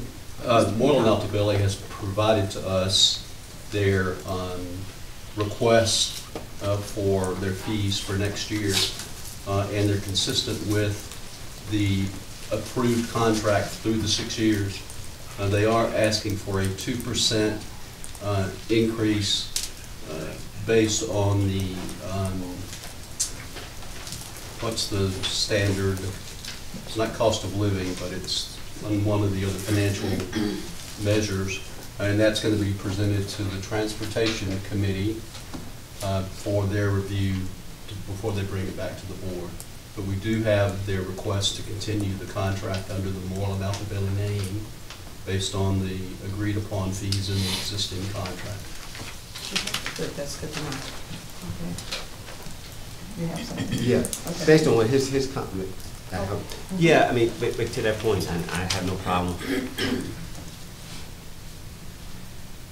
It's been a change of hands, guys, right? Change of ownership. So in one conversation, you're like, okay, I want my fees to keep going, but the other hand, somebody else owns us. And we're just now being made aware, and I have no problem with letting this system go. It's just, just to the public. And this is what I'm, I'm only here for the public to make sure I see, I, I look into and oversee the system. And I'm like, look at how this thing is moving. Right? There's just been acquisition. There's been a change in power. Yet they want to maintain the Moreland Altobelli, but that name doesn't exist anymore. So I get it. Somebody needs to tighten this up for a minute. It, it's that type of, like, who's paying attention? right? And and it's not that it's being aligned, it's not, no- nobody is, it, it, it's a subversion or anything. It's just questions that we as Board of Commissioners have to ask, which is, okay, and not that I have concerns, it's just one of those like, okay, so who owns our contract now? And I wanna know if they've aggregated multiple engineering vendors or whomever, they've got this big suite of products. Well, what else did they just buy that y'all ain't quite told the Board of Commissioners yet? Like, you know, he's been notified, well, they still want their fees, and he's been notified, like, okay, but who looking at this whole thing, like, okay, who, who, who, who in this administration is gonna help us understand who owns, I mean, did they just come in here and sweep and take everything? Like, and and I'm okay, I'm like, oh, what a power move, what, go ahead, Mr. Borland. Wait, wait, like, ma- maximize the, our contract for million and sell out, like, in other words, you, you, you retired out, love it, no problem. But then what, what just got bought? And, and, and what does that mean for us? And so now there's this pressure for it. No, no wonder now, when the kind county administrator called me and said, okay, they're looking for more work, more than looking for more work. So it's interesting how friends can call friends for work. And They're like, okay, I said, yeah, that valuation it caught y'all. Uh-huh. Y'all done got bought, you got the new owner saying, okay, that four million is what we paid cash for, so now all of a sudden, y'all gotta go find some more work. Uh-huh. Uh-huh. See, it's who's asking those questions. That's our job as the Board of Commissioners to look at the system and ask those tough questions, right? To keep it honest, right? And so it's what's not being said to us. And so we got to sit here and discern. Okay, let me listen to what they just said, right? So I just we, we're just looking for the board's not looking for anything other than at least I'm I'm not looking for anything other than I just want to know what, what what just happened, right? You're telling us after the fact. I just want to know what happened. I know what type of question to ask once I get a chance, but I appreciate, you know, you guys are fine. You did what you're supposed to do. Um, as far as, um, being client services, meaning Terry and, and David. I want to know, well, what does this mean for y'all? I mean, what, what, what does this mean for the, the Russell relationship? So one part of it just got bought out. This was a two-part arrangement for us. Somebody, somebody explain what just happened with this relationship? It's that type of like, can somebody tell me what just happened? And so then you're asking me for fees for something like, but who am I giving, who, who, who, who, who gets the fees? If Moreland's no longer around, it was a Moreland Russell relationship, and you wanted me to, see, it's, y'all gotta be cleaner than that. I'm, I'm taking a loan route, it's more educational, from on, we do than that. Yeah, y'all got, we ain't gotta do it in these type of meetings, but somebody gotta go to somebody in the administration and explain, okay, now what just happened? Okay, thank you. Look forward to a presentation from uh, Mrs., I mean Vicki Moreland and her team in the first of the year to explain this process. Okay. And and then next month, I'll give the overview as far as, uh, on everything that we do for minority firms and local businesses. So that'll be next month. Okay, thank you. We Appreciate you. I'm gonna uh, pivot back to tab number four for the uh, county attorney here, so. Yeah, Madam Chair, I just wanted to report to the board, I just got off the phone with Sheriff Pounds, he's read this ordinance. He is fine with y'all moving forward, it's y'all's discretion whether y'all approve or not, but he wanted to know, and uh, Bobby was part of the conversation. And Bobby's in charge of all law enforcement. Sheriff Pounds wanted the public to know that this ordinance doesn't mean that he's, that he's right, they're writing tickets for marijuana. They're gonna, if you violate the laws of the state of Georgia, you're gonna get arrested, booked, and everything like the normal thing. What this is, is uh, options for the Solicitor General as far as disposing of the case. Because I had somebody ask me in the hallway earlier, well, y'all writing tickets for marijuana, sheriff wants y'all to know, he's still gonna arrest people. So this is not a decriminalization from his standpoint of what he's doing in his job. Bobby, did I say that accurate? Yeah. Okay, all right, y'all okay with that? Okay, we're gonna move on to, um, we we covered several of our business items, so we'll, we'll pick up at tab number nine. Tab number nine is to author- uh, authorization to pay Carter Watkins twenty-two thousand four hundred and fifty-three dollars and forty-two cents in additional to rebid and redesign fees for the additional, uh, for the addition to the Douglas County Transportation Center. Um, Director Watson? Good morning, Commissioners. Um, As you remember, earlier this year, we rejected the first set of bids for construction of the addition to the Transportation Center. So we re- we rebid that project. In addition to that, we had to do uh, considerable value engineering to get this project under budget. And that resulted in significant changes to the shop drawings um, for the, the project. These two events meant that we had some unanticipated um, expenses due the architect on this project. And so Carter Watkins has in- invoiced us for this amount, twenty-two thousand four hundred and fifty-three dollars and forty-two cents. Uh, Mr. Till and I have talked about this several times. Mr. Till has also talked to the architect about it. And we do believe that these fees are- are appropriate. And we're asking this morning uh, for permission from the commissioners uh, to pay this. Uh, I do want to point out that I have money in my 2019 budget for this. It's also a grant project, so we'll get 80% reimbursement it. Okay. What's the total cost to the county? Uh, four thousand four hundred ninety dollars. Okay, four, four thousand, say that again. Four thousand four hundred ninety dollars. Okay. Any questions from the board or comments? Fine. Yeah, thank you, Madam Chair. This, this is related to the whole conversation, which is, so you made the comment that we threw away the bids, right, for transportation services. And, um, that was important because the bids were not, if I recall, consistent with the need to acknowledge, um, the disadvantaged enterprise. This was a federal contract, was that correct? Correct, yes, sir. All right, so, so the, the, um, via a couple committees, both our procurement committee and the transportation committee, it was important to say, okay, uniformity, be compliant, be consistent, So because um, the bids that came in and wasn't properly acknowledged, we we just reshuffled, just do them over, right? And and obviously it came in, and you guys went through the process, and the awardee was the awardee accordingly. And who was the awardee of this? Headley Construction Yeah, Company. Headley Construction. Okay, did, uh, all right, very, did Headley, Headley Construction? Yes, sir. All right, so, uh, they came in and they won the bids, and so they're down the path. Now, this is not Headley Construction that's getting this additional, right? This is the architect. The architect, yes, sir, Carter Watkins. All right, I just wanted to highlight that, just, just for the record, so. Okay, thank you. Is they finished? Uh, Commissioner Carthan, I'm sorry. Um, just for my understanding, the four thousand four hundred and ninety dollars is coming out of what, what fund? This, this is part of the money that's already in the 2019 uh, budget, so it is coming out of the general fund, but it's not any additional money the county will be required to pay. Okay, sorry. And the rest of the funds are coming from what you have in your budget? Yes, ma'am. Okay, just for clarity. Okay, Thank you. Okay, thank you.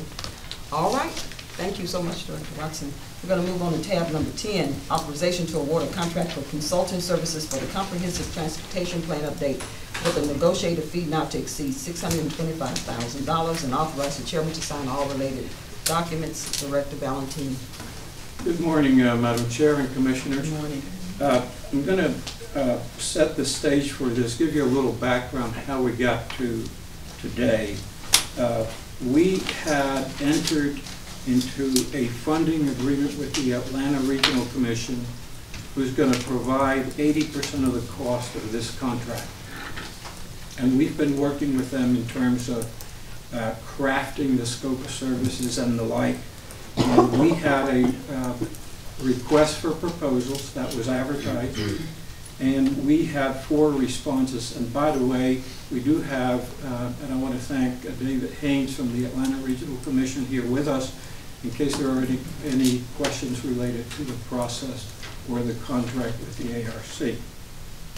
So we had a request for proposals, we had four proposals submitted, and as is typical, we had an evaluation by a review team, in-house team. Uh, we did that, the results of that evaluation were, was provided to uh, all the members of the board.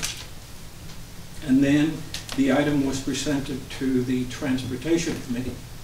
At the Transportation Committee, in addition to the technical evaluation results, uh, there were presentations that were done by all four of the responders to the RFP.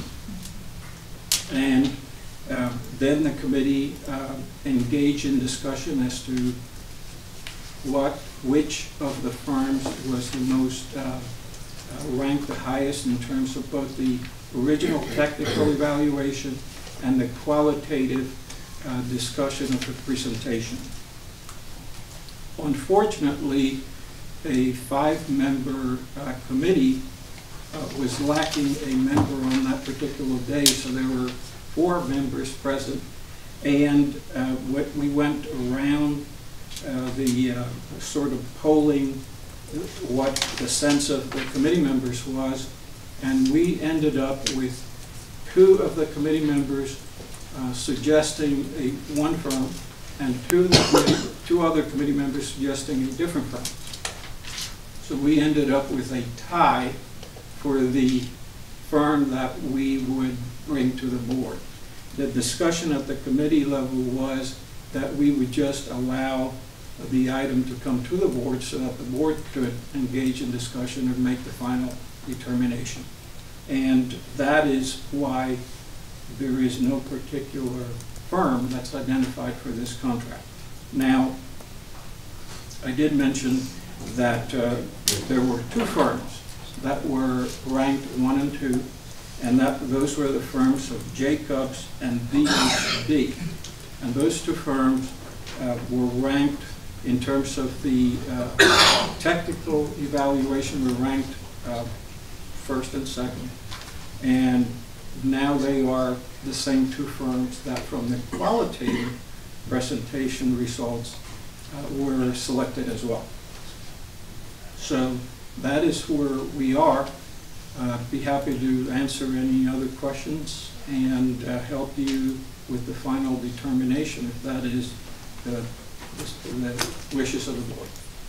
Okay, thank you so much. Okay, Commissioner Robinson, whether you have a question? Yeah, and, and as chairman of the committee, it, it's something that I, I could have resolved at the committee level, but I thought it was important enough to bring it forward. And, um, Director Valentine w- w- was, was accurate in saying, we agreed, Madam Chair is a member of that, agreed to take it to the full board. Um, and this is where, um, this is important, you need to understand why I said I'd rather bring it forward, because unlike at the state or the, the federal level, there are rules within committee. We don't really have a rule book like at the state. There's a little rule book on committees on how you settle certain things. Uh, At the same point, our procurement, um, though we had the procurement, um, our purchasing director was there, and we did have observation, the question becomes simply this. You have two names that were set for, two rounds. You had two first place votes, right? Then you go, well, if they're tied, you go to the next level. Right? And it could have been settled with that, just by straight rules. Right? You had two first place votes. They were equal. Jacob, Jacob, BBH, BBH. Right? So those the first place. You go to the second, well, that's tie. Go to the next level. I mean, the second place. How many got second place votes? Right? So can you tell the results of the second place? Um, I, I think you had what? What did you have? BBH or BBH, then Jacobs, and then modern technology.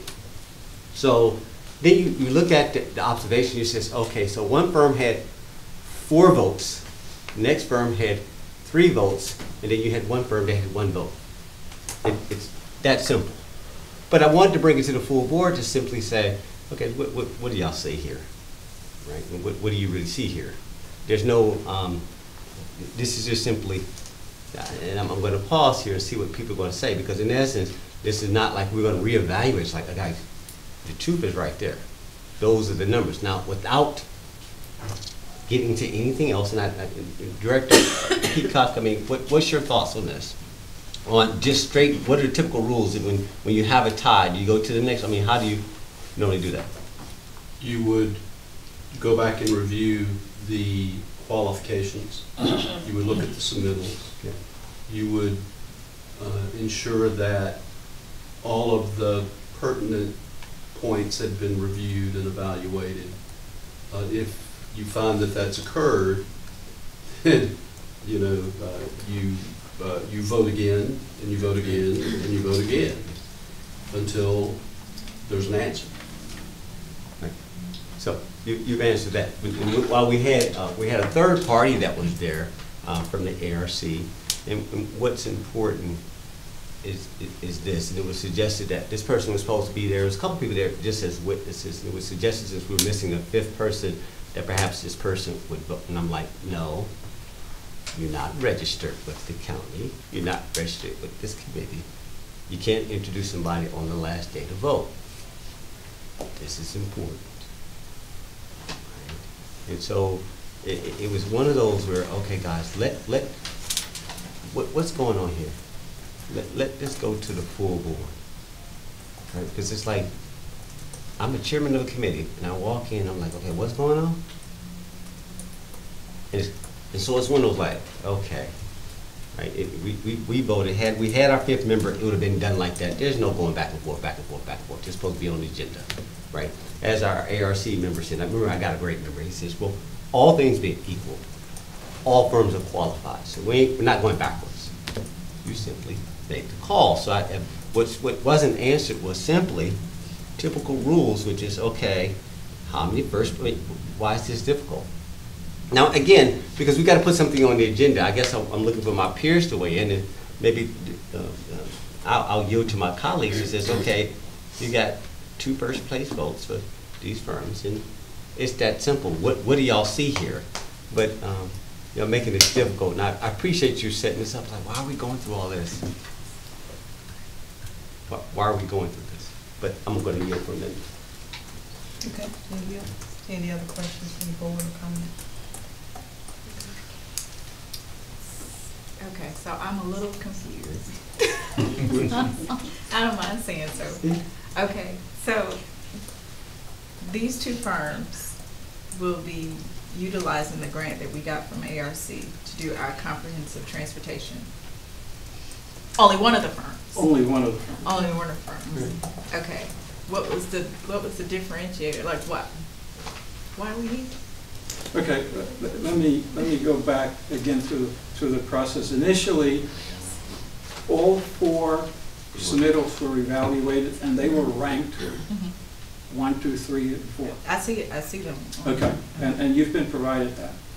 That then, um, the process also allows for additional information to be requested by the county or a presentation to be uh, requested by the county, which was done. The presentation was done before the Transportation Committee. And at that time, there were only four members present. And so, once all the presentations were done, uh, the, the usual discussion it was going around the room, what do you think, what do you think, who's your number one, who's your, your second?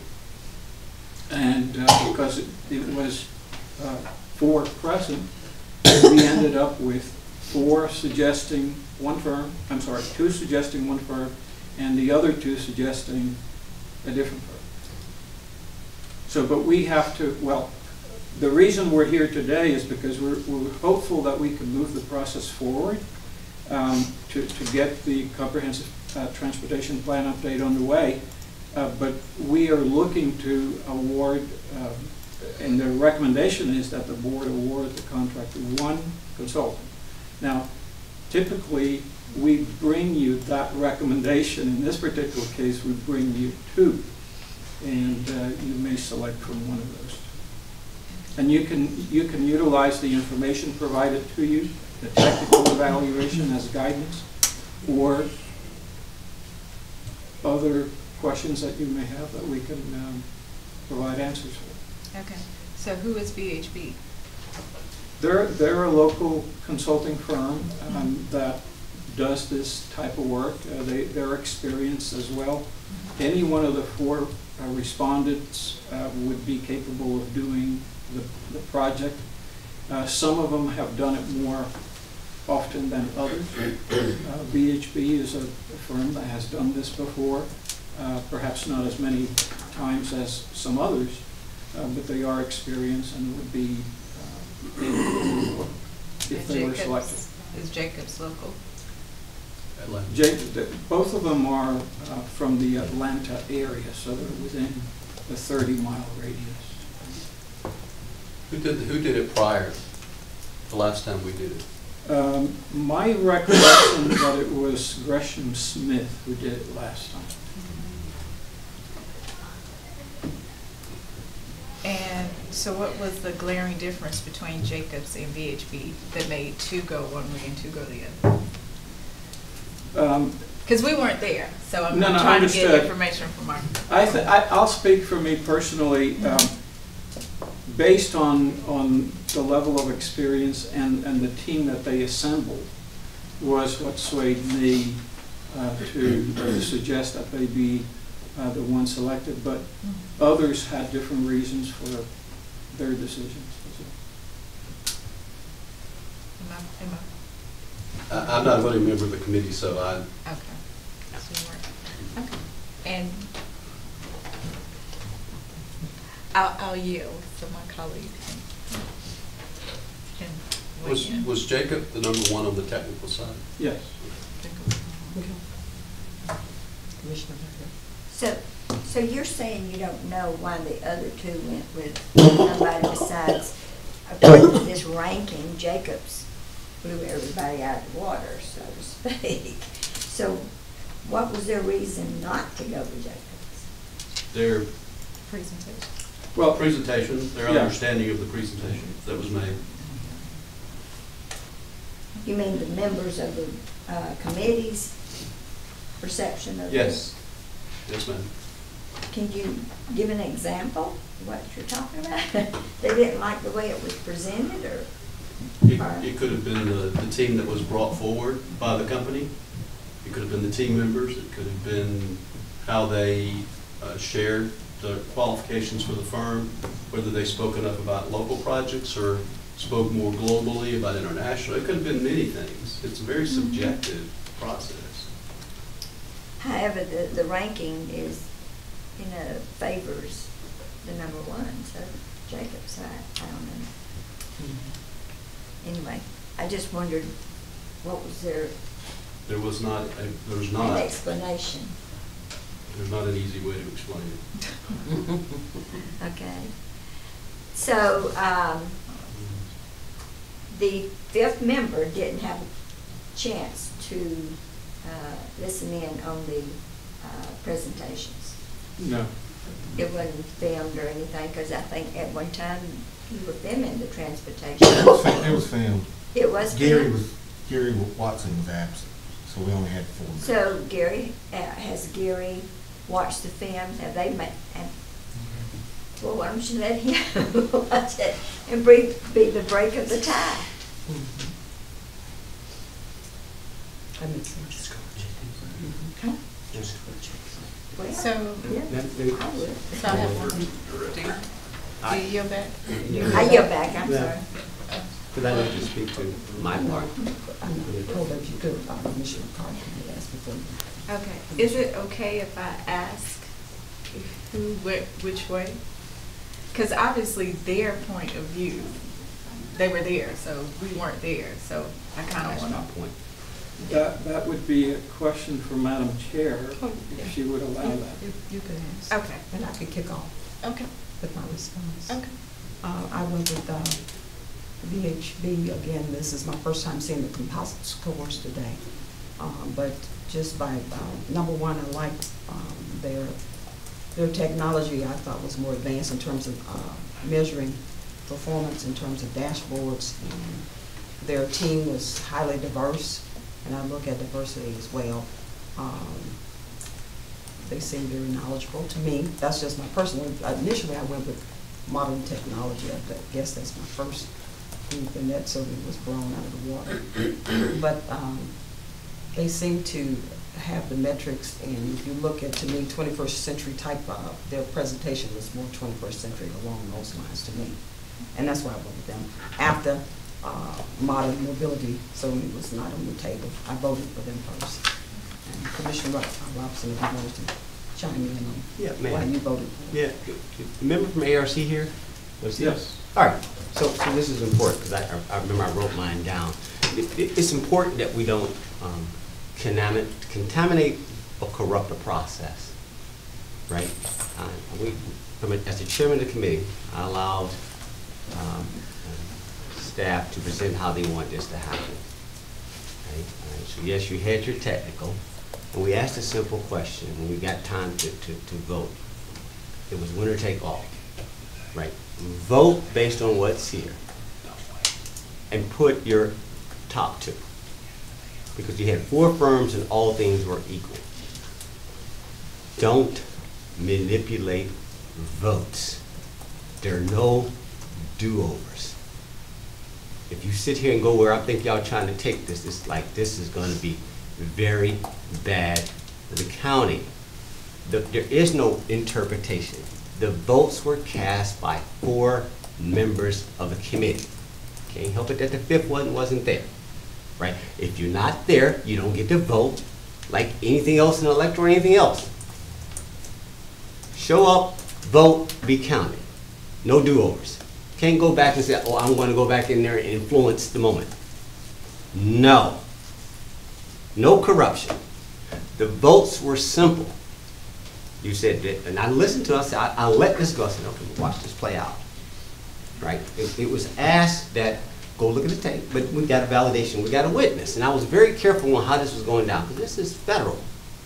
I'm not playing with this. Right? You had two first place votes, right? And so it was, county administrator went first, Miguel went second, I went third, Madam Chair went fourth. Right? So it went, you know, whatever it went, Jacob, Jacob, BBA, VHB, VHB. And then we said, okay, well, what was the second? The second place, we all revealed that as well, right? So you had VHB, VHB, you had um, Jacobs, and you had Modern Technologies. That is the scoring. Stay there. That's what was cast. Don't manipulate this. That was the results. So the question really simply here is, the results is you got two first place votes, right? All right, then you go to the second place and says, okay, you got two, one, and one. So you got one firm that has four votes total that was submitted, the next one has three votes, and one has one. Don't make this corrupt. Those were the votes. Don't act amateur. Don't play with this. Right? And so my, my point being very simple, everybody sort of dance around like we just like, no, you don't, you're not playing with a federal contract. Don't do this. Right? The results were the results. Right? So you just sit back, say, okay, you got one firm, you got four, four votes. You got one firm, you got three votes. The only got one. That was the total of eight votes cast. It's that simple. Your rules weren't advanced enough to be able to say, well, what happens in a tie and so forth. So you sort of, you let it play, but you let it lie. But you don't get here and you get into a place, and that's why I said, take it to the full board, because I'm going to prove a point. Don't do this. The very thing that we're talking about, like, that's what our job is to make sure that staff, how y'all bring things forth, like, no, uh-uh. No, don't introduce somebody at the date. See, it's, it's like, where are y'all going with this? Right, so the question becomes how this plays out. So my, as chairman, I said, I deferred my comment, which was clear. I said, I'm gonna wait until I come back around. All right, so as chairman, yes. Can you just tell me how you voted, and then I'll yield the No, floor? no, no, but, but, but I got this. I I already said it. I already said how I did it. I, I voted for VHB and, and Jacobs. I, I read the order, right? So, but my, my, my point being is, it doesn't matter how I voted. Mm-hmm. It, it, it's, you got the votes. So to ask Kelly Robinson who he voted for the it, it didn't matter. You added the total votes. It's irrelevant of the person. Tho- The votes are adequate. They're legitimate, based on our evaluation. Those are the numbers. Like, in other words, I'm not asking for validation of why I decided. We had the authority as a committee to vote. And so I'm, I guess I'm, it's not even guessing. Mm-hmm. Y'all want it? Yeah, I'm gonna give this one. Again, my recommendation is you go with the one with the total number of votes. Right, So it's one firm got more votes than the next firm. And that was based, that's what they brought forth. It says, okay, we sat there, began to tabulate.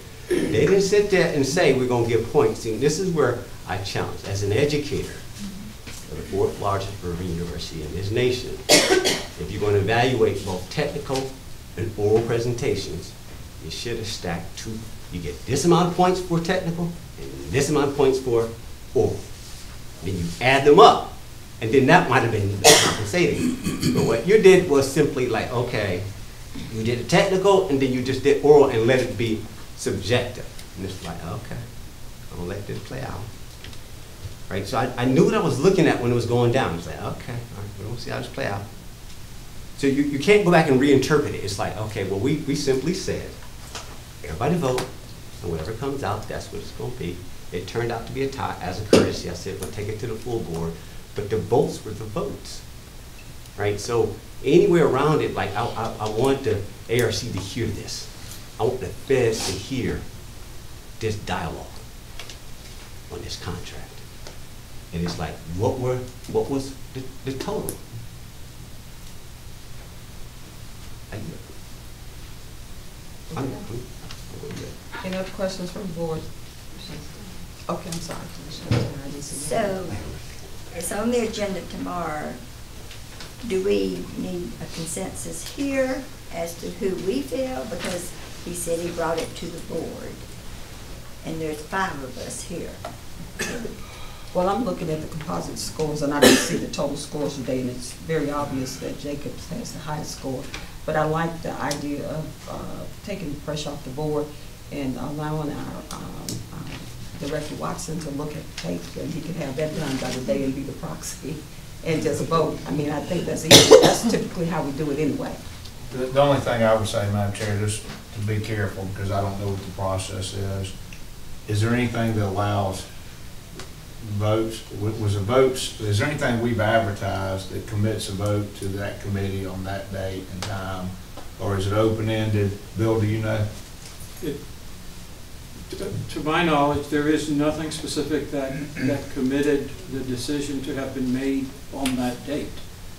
Uh, But It's it come- It comes as a recommendation. It comes as a recommendation after the initial technical uh, assessment. When we um, advertised the request for proposals, within the request for proposals were the criteria for the technical evaluation.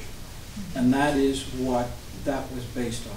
The spreadsheet that you have was based on the criteria that was advertised. Can we ask how the others, who voted which way? We Did just- you not do that? We just did that. Yes. I didn't hear. You were in the committee and I'm you in- I'm on the committee, I said uh, modern mobility, and then uh, VHB is who I voted, but but regardless of how it plays out, I, all, all the um, companies that presented were very qualified, so who- whoever we choose today, I won't be upset. We just need to move this project along. So, um, I, Commissioner Gail vote. Jacobs. Huh? Jacobs. Okay. How did I vote? You're the expert, right?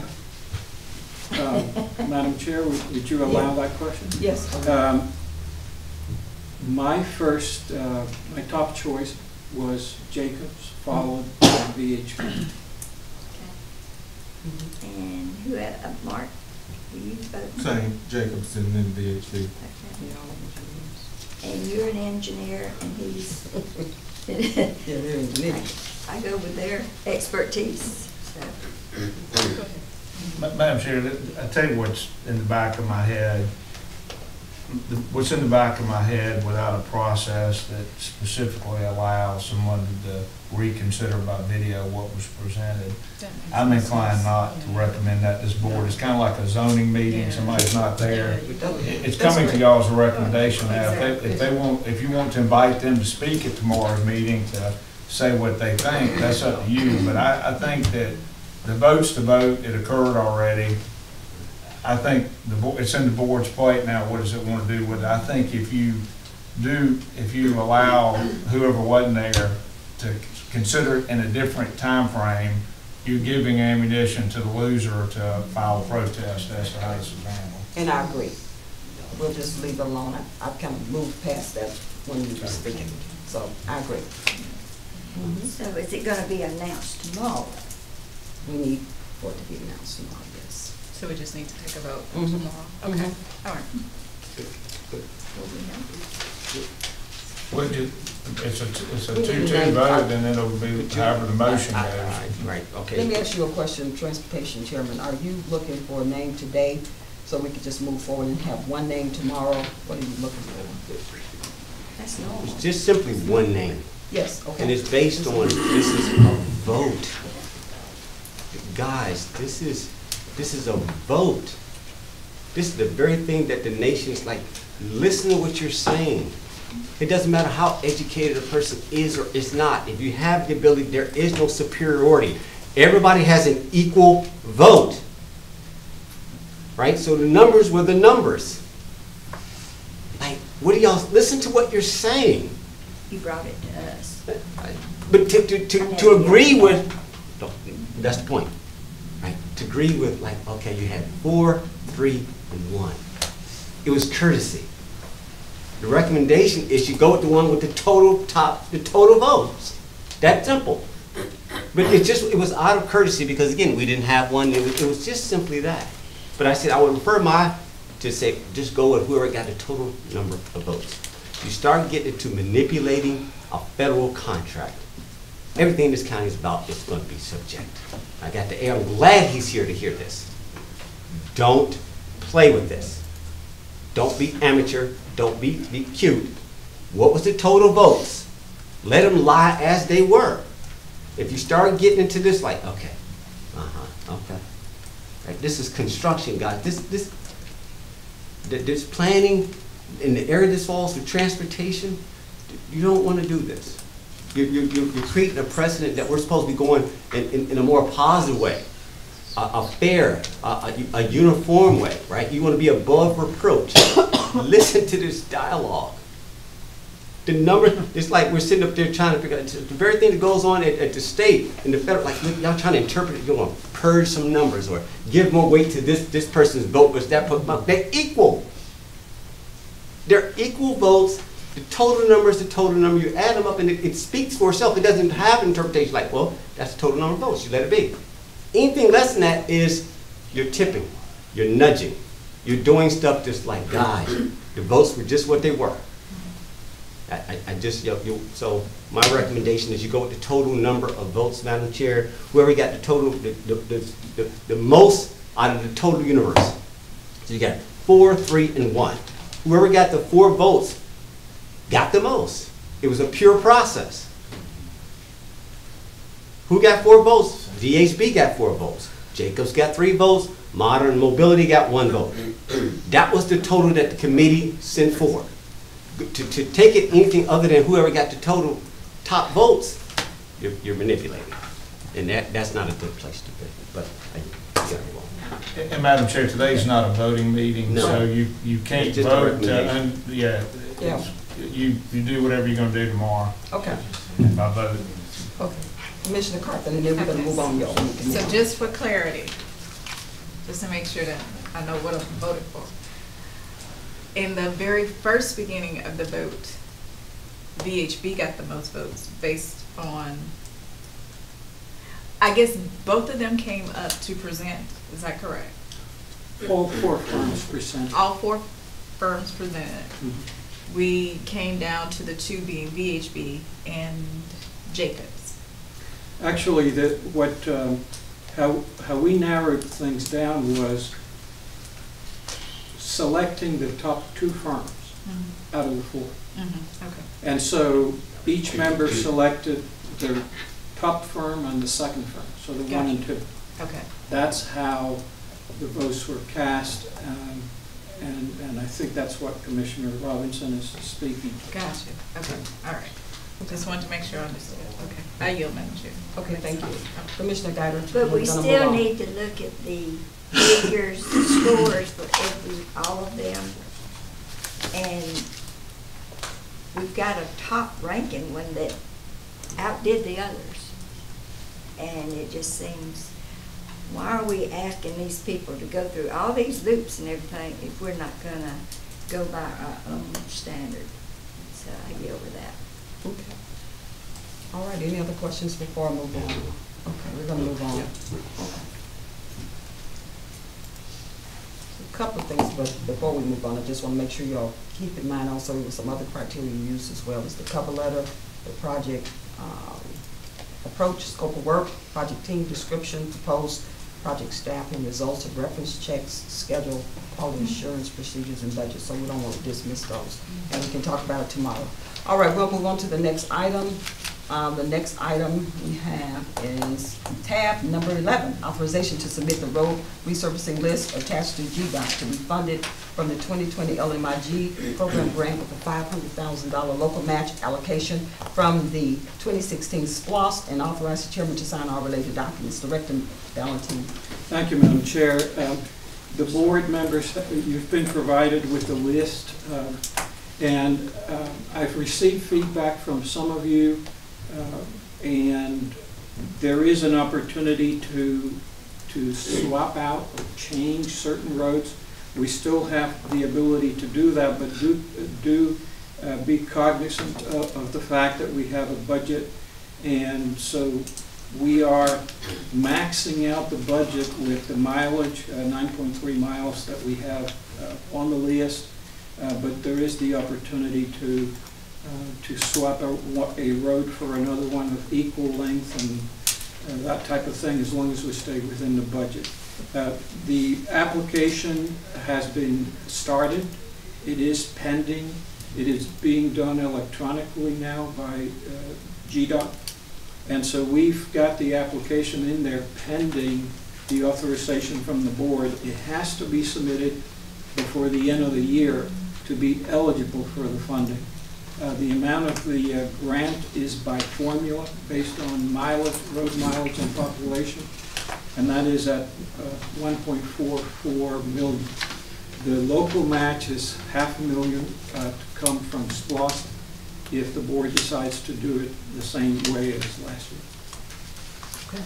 Commissioner Davis. Just one comment, and I've mentioned it, I guess, to Mark. I'm one of those some of you that um, had a little problem with this.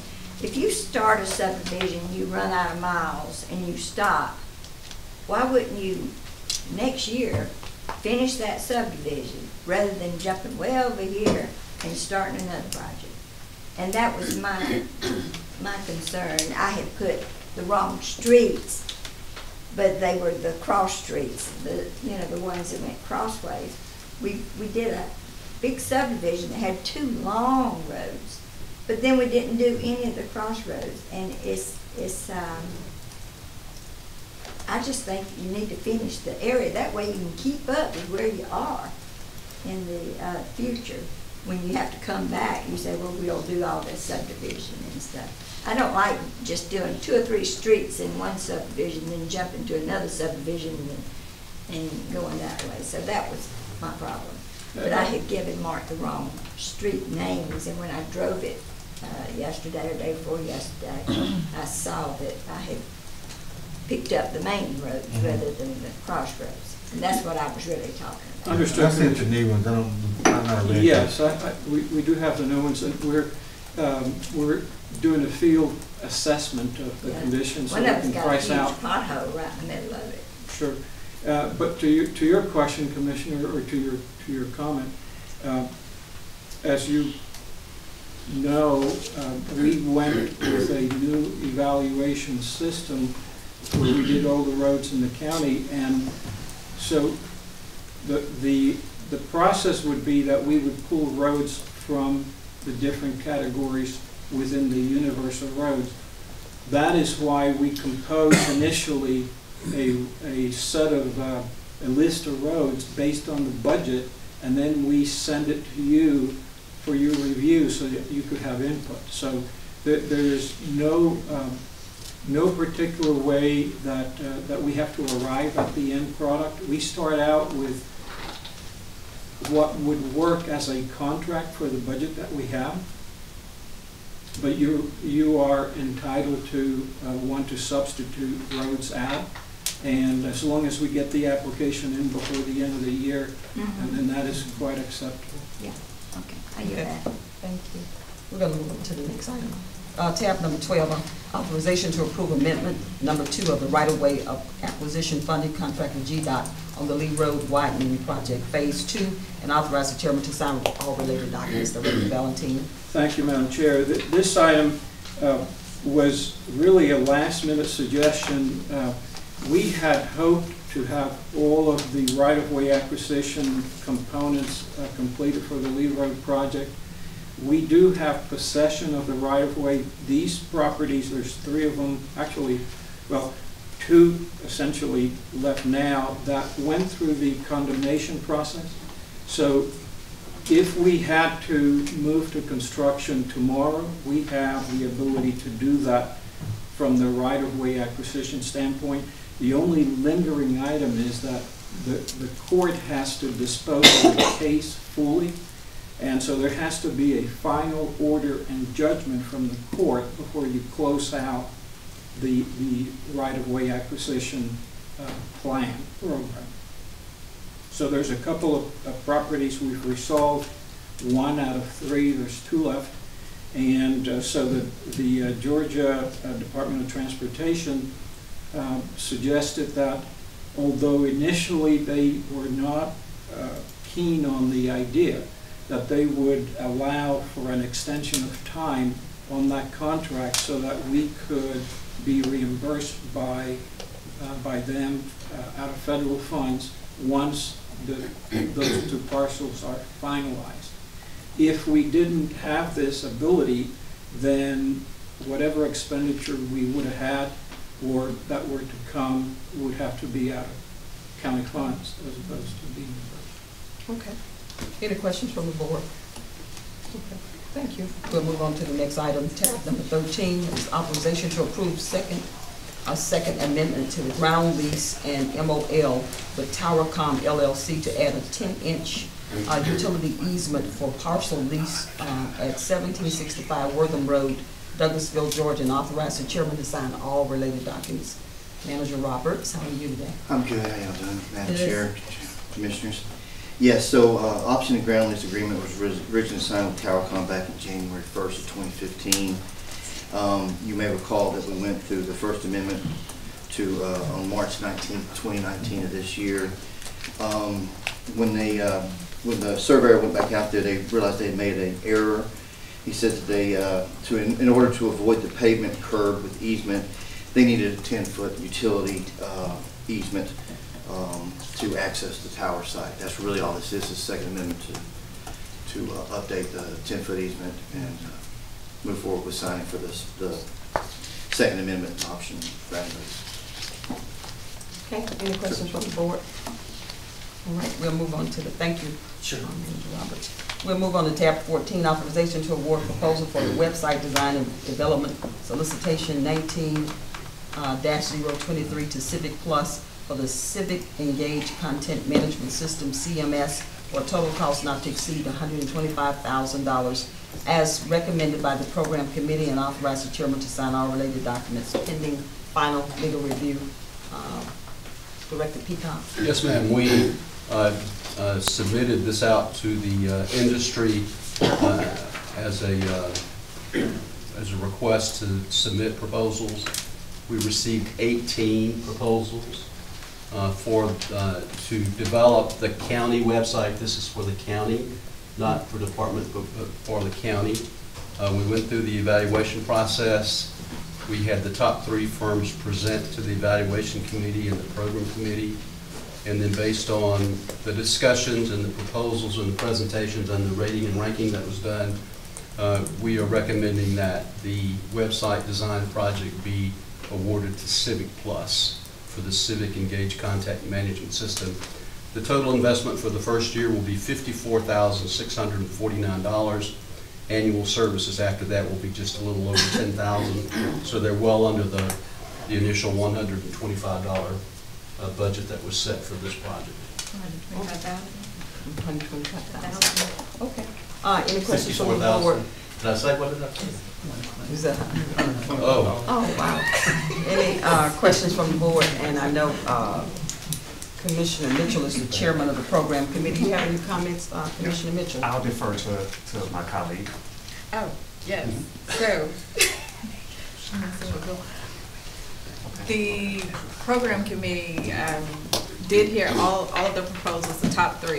And uh, it, it was really tough because South Fire and Civic Engage did an outstanding job. Mhm. And um, I think I'm a little biased because South Fire is, was a woman who was presenting and she was awesome. And uh, so Joy, if you're watching, good, great job. We, we really appreciate you. The Civic Engage, because they had, um, we're already working with them. They're already a vendor with us. Um, they give us such great, um, customer service. Lisa vouched for them. Um, so we, we decided that we would go with what we know and picked Civic Engage to, to handle our website. We're using them for Civic Recreation, which the Parks and Recs is using. We have them for Civic Clerk, which we, the Board of Commissioners, use, and then we also have them for um, Civic HR, which um, Mr. Perry uses. So we will engage, Civic Engage, and we believe that they will do a great job.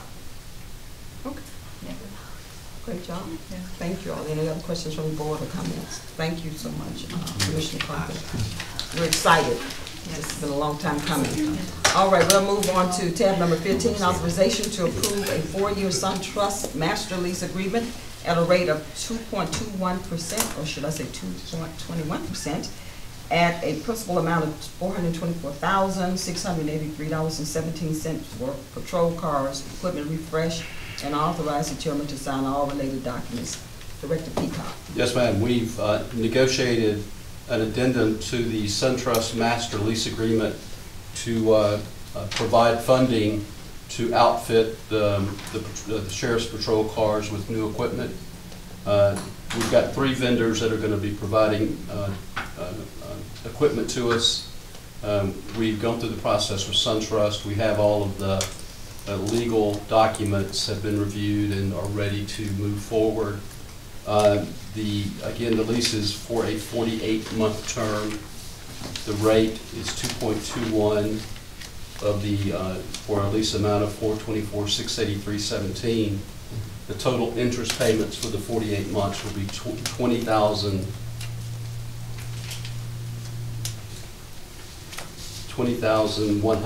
$20,180.87. I left a zero out somewhere there. But we're asking for the, for the uh, commission to approve this lease so that we can move forward with it. Okay, any questions from the board? Um, We'll move on to the next item. Before I go into the resolutions, Board of Commissioners, I had uh, conversations with our clerk uh, to determine why my meetings are going so much longer than the ones in the previous years. And we, we both uh, discovered that uh, in previous years, we only had one vertical that this county had to look at in this uh, budget, or should I say, this agenda, these agendas and these meetings are related to projects that's all over the county. And so she made me feel a little better because I told her I don't want my record to be that your meetings last too long, but I'm telling you, these things have been just very cumbersome, but we have, uh, we are accomplishing a lot. So please, this is, this is the new norm for meetings in Douglas County. You only had one vertical prior to me. Now you have just multiple projects all over the county. So thank you, Lisa, for that confirmation for me because I was getting a little worried, becoming worried. Now we are moving to resolutions. If we look at resolutions, uh, tab number 16, resolutions to adopt the 2020 budget. Jennifer Hallman, do you have anything for us? or- I'll just have a, uh short presentation, uh, tomorrow, uh, and it will just be the changes that have occurred since the budget, uh, hearing. Um, I gave all of y'all copies. I believe Mark has emailed them to you, but I also printed hard copies as well. Um, that showed the changes. Uh, we had a change in the uh, local option sales tax revenue increase of around 114,000, TAVT revenue increase of 63,000. Uh, there were some reductions, uh, 90,000 uh, from contingency, uh, so their contingency balance will be 315,000, or it's being proposed to be 315,000. Uh, we did reduce the assistant public defender position by thirty thousand because we knew that that was funding it for a full twelve months. It'll take a good, you know, sixty to ninety days just to, uh, get the person on board, as well as the school resource officers. Uh, there was a reduction of two hundred and sixty-five thousand. The additions, uh, were thirty thousand for a part-time aid, legislative aid uh, for Commissioner Carthen, twenty-five thousand for strategic sourcing, savings and improvement RFQs.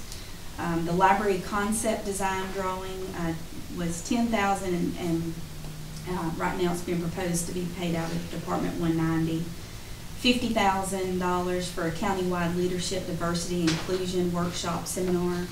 Eighty thousand for the GIS countywide aerial photography flyover thirty thousand for a part-time legislative, uh, marketing slash intern for Commissioner Robinson.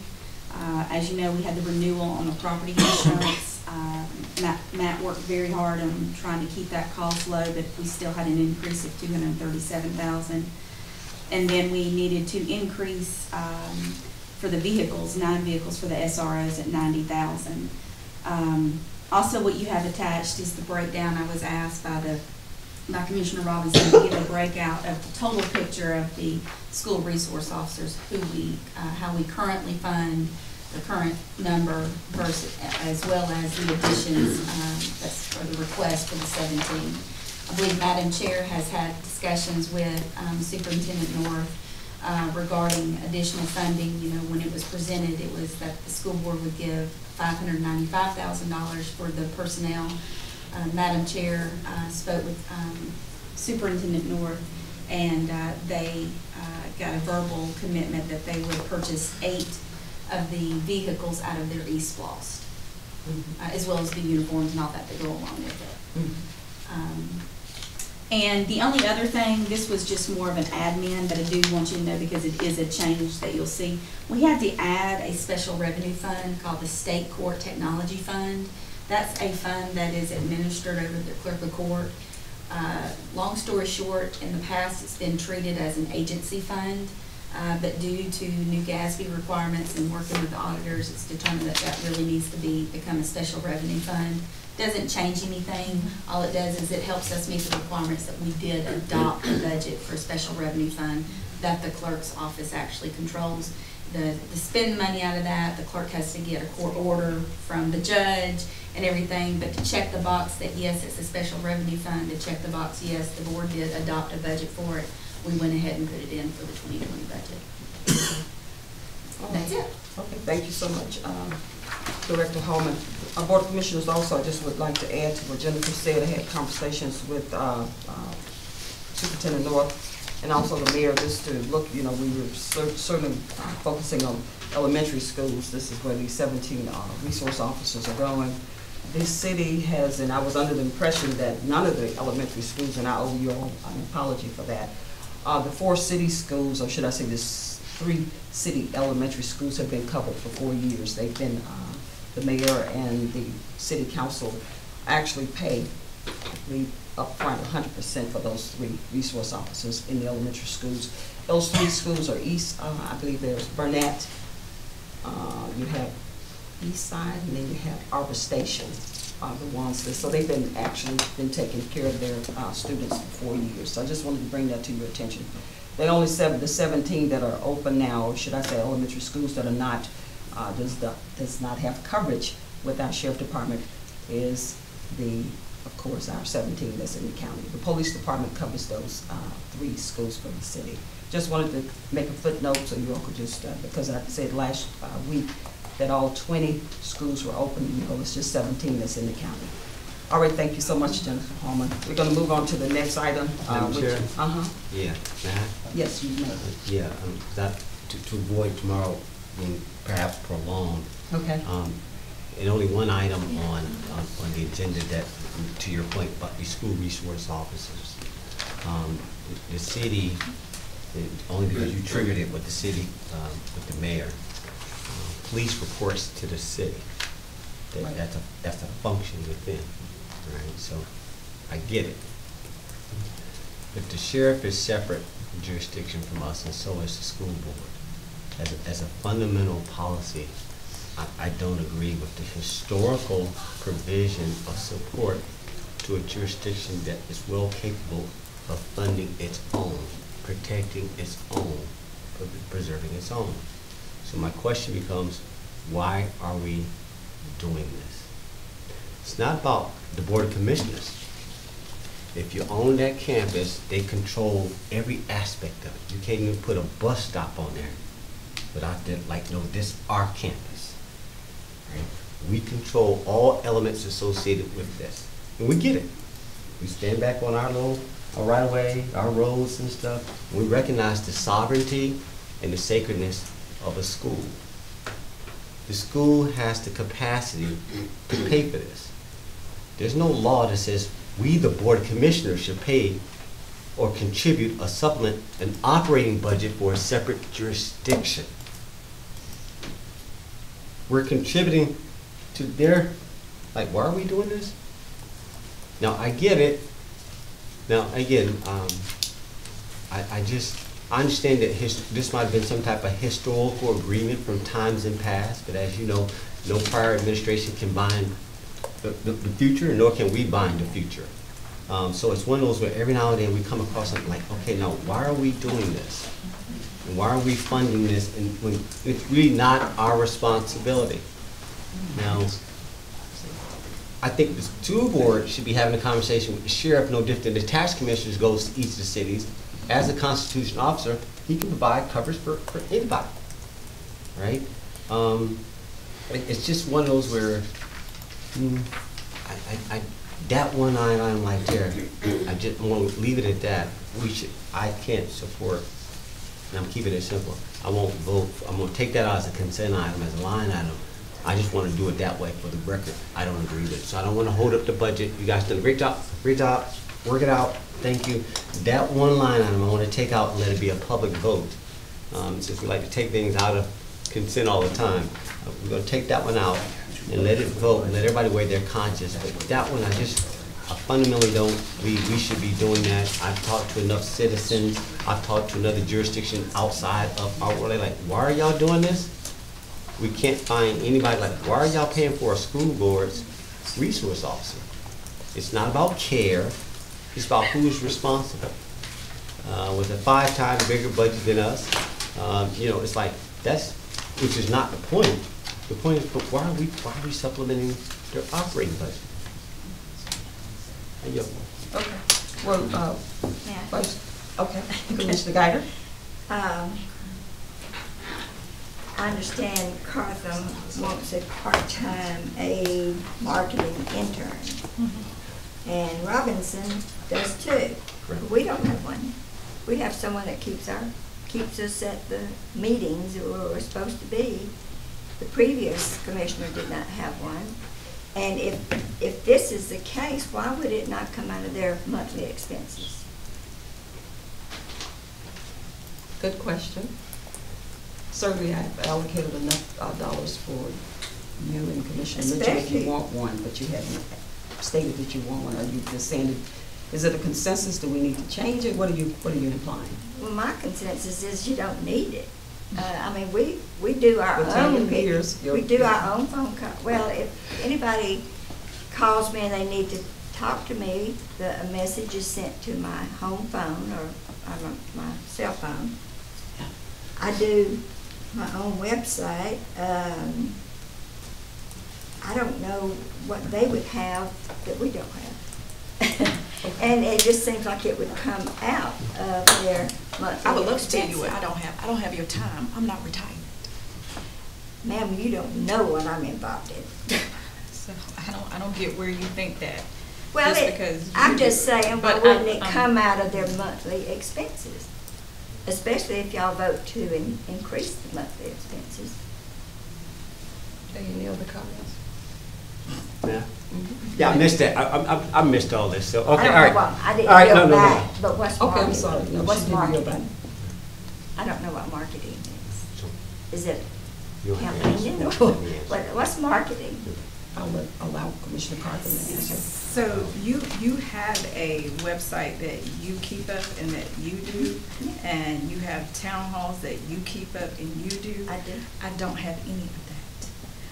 I don't have the time to do that. Not only that, legislation, it took me, even with my team of purchasing, it took us six, seven, eight months to come up with that legislation. And I didn't even communicate with them most of the time like I wanted to because I work full-time. We are a legislative body. We need to have legislative interns. I can't believe that you all function without one. We, we, to me, it's preposterous to think that. Legislative, but Don't uh, cut her off, let her have, you got the floor. It, it just, it, it just baffles me that you all don't have anyone here actually helping to do what needs to be done in terms of a commissioner. I think most people think that we are full-time, but we are not. We are part-time. So the amount that I want to give to my constituents as far as time, as far as resources, as far as getting information out to them, I don't have the time to do that. That's why I asked for one. Lisa and they do a great job. Lisa and Sherry do a great job, but they don't have time to do that either. So a lot of times I'm turning to other staff, such as Tiffany, who already has a mountain full of stuff to do. you're no different than me. I am very different from you. I have seven staff, I have a full-time job, and I own a company, and I do a plethora of other things. So just like you say, you don't know what's on, I don't know what's on your plate, you don't know what's on my plate.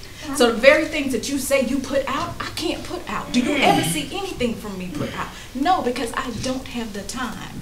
If I can have somebody to come in and do what you do in your retirement, then I would love to. And this thirty thousand dollars, we don't know how much. That equates to about fifteen dollars an hour. Most of our staff makes more than fifteen dollars an hour. So I have to come out and find somebody for fifteen dollars an hour to do what I wish I had the What time is to do. marketing? I don't know. I just told you. I just told you. It's the website, it's the town halls, it's the getting out there to make sure that people understand what the narrative is of the Board of Commissioners. I don't have time to go out and do what you do. So that's the marketing. That's the intern. Anything else? You don't have time to have I a town don't. hall? You call the town hall, so why wouldn't you have time? I don't have do time to even put it on. I'm grabbing Mark to say, do you have time to do this on this day? They don't come in and set that stuff up. That's what we do. They don't make the agenda. They don't pull out the resources. I'm pulling stuff from Rick's office to make sure that we're set up. I'm asking Tiffany, can you take it over? I'm doing this, but this is on my time that I really don't have to give to the constituents the way that I would want to. And an aide would We've do that never had 'em. We've I know you haven't, but you never had someone at my level to do it the way that I want to do it either. So that, that's, it's, it's a difference. Commissioner Goddard, it's a difference between you and I. Well, How you run District why Four would is it how you not run come District out Four, of but your how I want to run expenses District If you have Three. to have special stuff, The why would it not come out of your expenses, the- expenses? One has the floor, and you got, you can't, you can't question Well, somebody got the she, floor. well, Commissioner Carter, I mean, Commissioner Guider had the floor, but she just posed a question, so are we finished?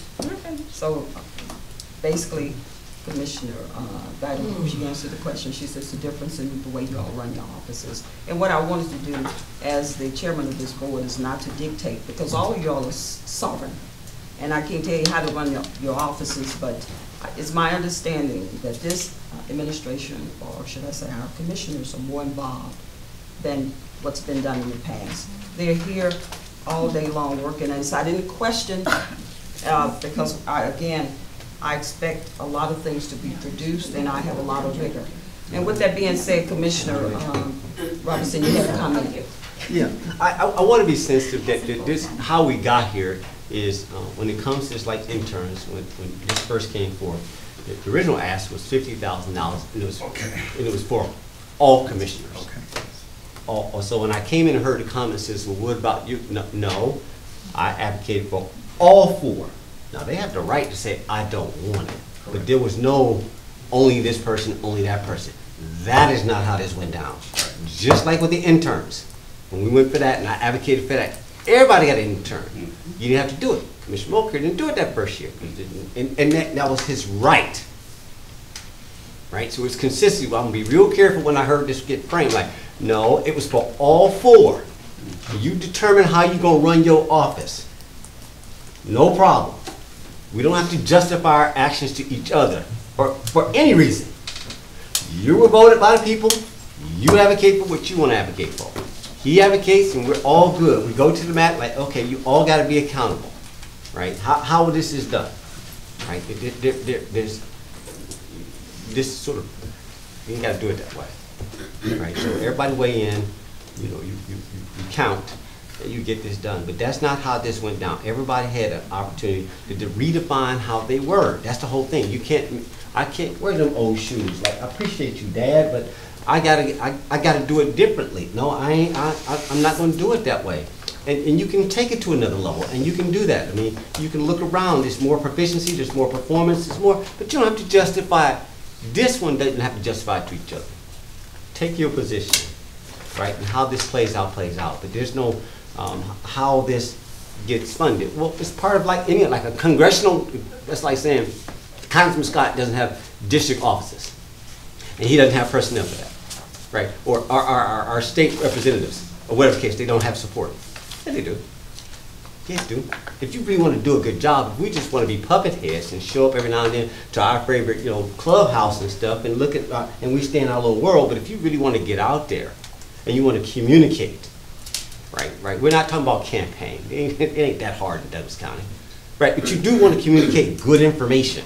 You want to be able to drive it, and we should not have to be able to pull on that staff because the issue is, well, I want to get done. They really can't because, like, okay, I don't want to wait in queue.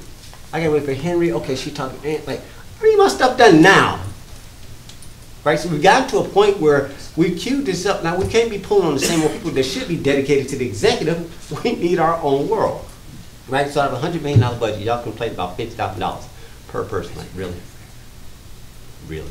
And this is for the citizens. I have no problem with my two hundred dollars. Take it to the public, and I look forward to doing so. Right? If somebody doesn't want it, that's fine. That's for our collective voice. But this ain't no debate amongst each other on like, weigh in whether or not why you don't want it, but you can't define or dictate what I'm gonna get or not get, or what I will advocate for. You will never win that one. But you're okay to take your First Amendment, but you can't, had this. Right? Everybody will have to respect all y'all. That's why when I, I, I, everybody gets one. Now, they have the right to say, but I don't want it. That's fine, but it was no slight, there was no superior, there was sort of, it was none of that play, why I get one, why I get money versus, see, that's why this was framed wrong. it's like everybody gets it. It was framed wrong, so it was real slow to how it was like, okay, they, they're able to command resources down, and not like, no, that's not how this went down. It was thoughtful for all four of us, and we respectfully respect each other. You know how this works, we respect each other's voices, we acknowledge each other's input, and if you choose, as whoever you are, saying, I don't want that, well, amen. But don't, it wasn't a sleight of hand. And so I don't want to belabor this, I think we got other stuff to do, but this was a simple one, but, Okay. okay. Thank you. For Commissioner uh, Mitchell, I see your hand. Are you finished, Commissioner Patton? I was just wondering, I don't know what he's talking about. Uh, The ARC interns is separate, is it not? ARC. ACCG, I'm sorry. Oh, yeah. The Yeah. ACCG Yeah. interns, they're separate, right? Yeah, that's what I'm assuming, Okay. that they are separate. But I just want to make sure that Commissioner Guider and Commissioner Mitchell know that I called something out for you as well, thirty-thirty, but I said they hadn't asked for anything, so I'll wait till they ask, because you're representing your offices. And again, like I said, you all represent your offices and whatever you want, so I- whatever. I'm just saying, why wouldn't it come out of your monthly expenses? That's what it's for. Otherwise, why have a limit on what you have set aside for each commissioner? I don't have a county fund. Yes. This is a new day in Douglas, Commissioner, and we're not, I, I just don't understand what you're saying. When you put limitations, one, I can say this, and I'm gonna stop after I say this and allow Commissioner Carter to chime in, and I'm certainly not in defense mode, but I said, I want the commissioners of these districts to be treated like, you're not, I don't know what tri- type of treatment you had before I arrived, but I have respect for your, your offices and what you do. And for me to be closed-minded and not listen and say they did this t- ten years ago, five years ago, what the other chairman did, I have nothing to do with what they did. I'm listening. I'm, I, they're bringing a high level, level of education to the table. They have ideas, they have innovation, and they want to make some things happen. And in order for these things to happen, I said, okay, I gotta, I gotta open my mind a little bit. They're not asking for someone to come on with benefits, now that, that's a whole different story. They're asking for, to have some money allocated, so when they need these big, big projects, and they're not just looking at just regular projects, they're looking at spreadsheets. They're looking at things that we don't have the talent in this organization to do, uh, fin- uh, analysis. When they're asking for analysis and dashboards and things that's way high level, I don't have it in this organization. We can't, we don't have it. We don't have a financial analysts that can go in and, and craft reports that they're asking, dashboards and, uh, all types of graphs, and I'm going, we don't have it. But if they feel that they need some, some extra help or some hands to help get these projects pushed through, or as they prepare for their town hall meetings, it's okay, they, the thirty thousand dollars is gonna be carved in a personnel, uh, budget, I think, and then it's gonna be trackable, so it's not free money for them to spend. Jennifer Holman is gonna look at this, so whatever that thirty thousand dollars is attached to, we already queued it up. It's gonna, if, if that person come in and work, we're gonna ch- track their time, and they may not even utilize the entire thirty thousand, but they have some money available if they need some extra hands on deck. So it's not extra money for them to just, uh, it's not a slush fund, it's not for them to just do what they wanna do it, but it's, it allows them to have that administrative support when, and, uh, when they need. And Sherry is excellent, but for five, four commissioners to, to be on one person, particularly when you got some with higher needs than others, it's, it's pretty rough on them. So I'm gonna stand, um, and, and they may use it, but Jennifer and I have, uh, set up a plan. Jennifer, you can, if if you could explain it, then I'll call Commissioner uh, Mitchell, tell them what, how it's gonna be mapped, so that the citizens understand what the process is. The funds will just, um, will be placed in part-time line item, and then, um, you know, just when the person, persons get paid, then it will be recorded in that line item. And at any given time, we can run reports on that line item or on that particular intern or interns to see the amount spent. So it's trackable. Just want to make sure it's just not going to be some money just thrown out over the, just thrown over the wall. It will be trackable money. Commissioner, did that answer your question, Commissioner Guider? And I know probably, and you, and My and let me ask question you- was, why doesn't it come out of the monthly expenses? The That's monthly- what's, in you know, been allocated for every commissioner. Why can't it come out of for the expenses. And I'm not just picking on her, I'm just saying, we've never had it. The previous commissioner never had it. He's full-time, he doesn't have it, so I just wondered why. Yeah, I know you said Commissioner Mitchell don't have it, he may want it, I'm not sure, we haven't had any discussion with him yet, but when you look at other counties, uh, and certainly I benchmark with other counties, Henry County, uh, looked at DeKalb County, we look at the, they do have a little stipend or some support to allow them to have an aid. So this is nothing new, I am not reinventing the wheel, wheel, this is, again, this is request from our commissioners, and I want to honor that request if that's what they want to run their offices. Now, you can't tell me in one vein that you're sovereign, and the next vein I dictate. So you got to give me, I- it can't be either or. I need to say, if they said, this is what I need for my office, it was not unreasonable. Again, we're tracking it, I want to make sure that it's tr- being tracked. I'm not just saying yes and not looking at it, I'm, I'll track it. So it's not either or. You have the option as well. Commissioner, are you interested? If you're not, I won't carve it out in the budget. Do you need some support? I don't need it. Okay, so there, I don't have to worry about tying up thirty thousand. Okay, I'll, uh, you finished, Commissioner Guider? Oh, I'll, I'll speak for him.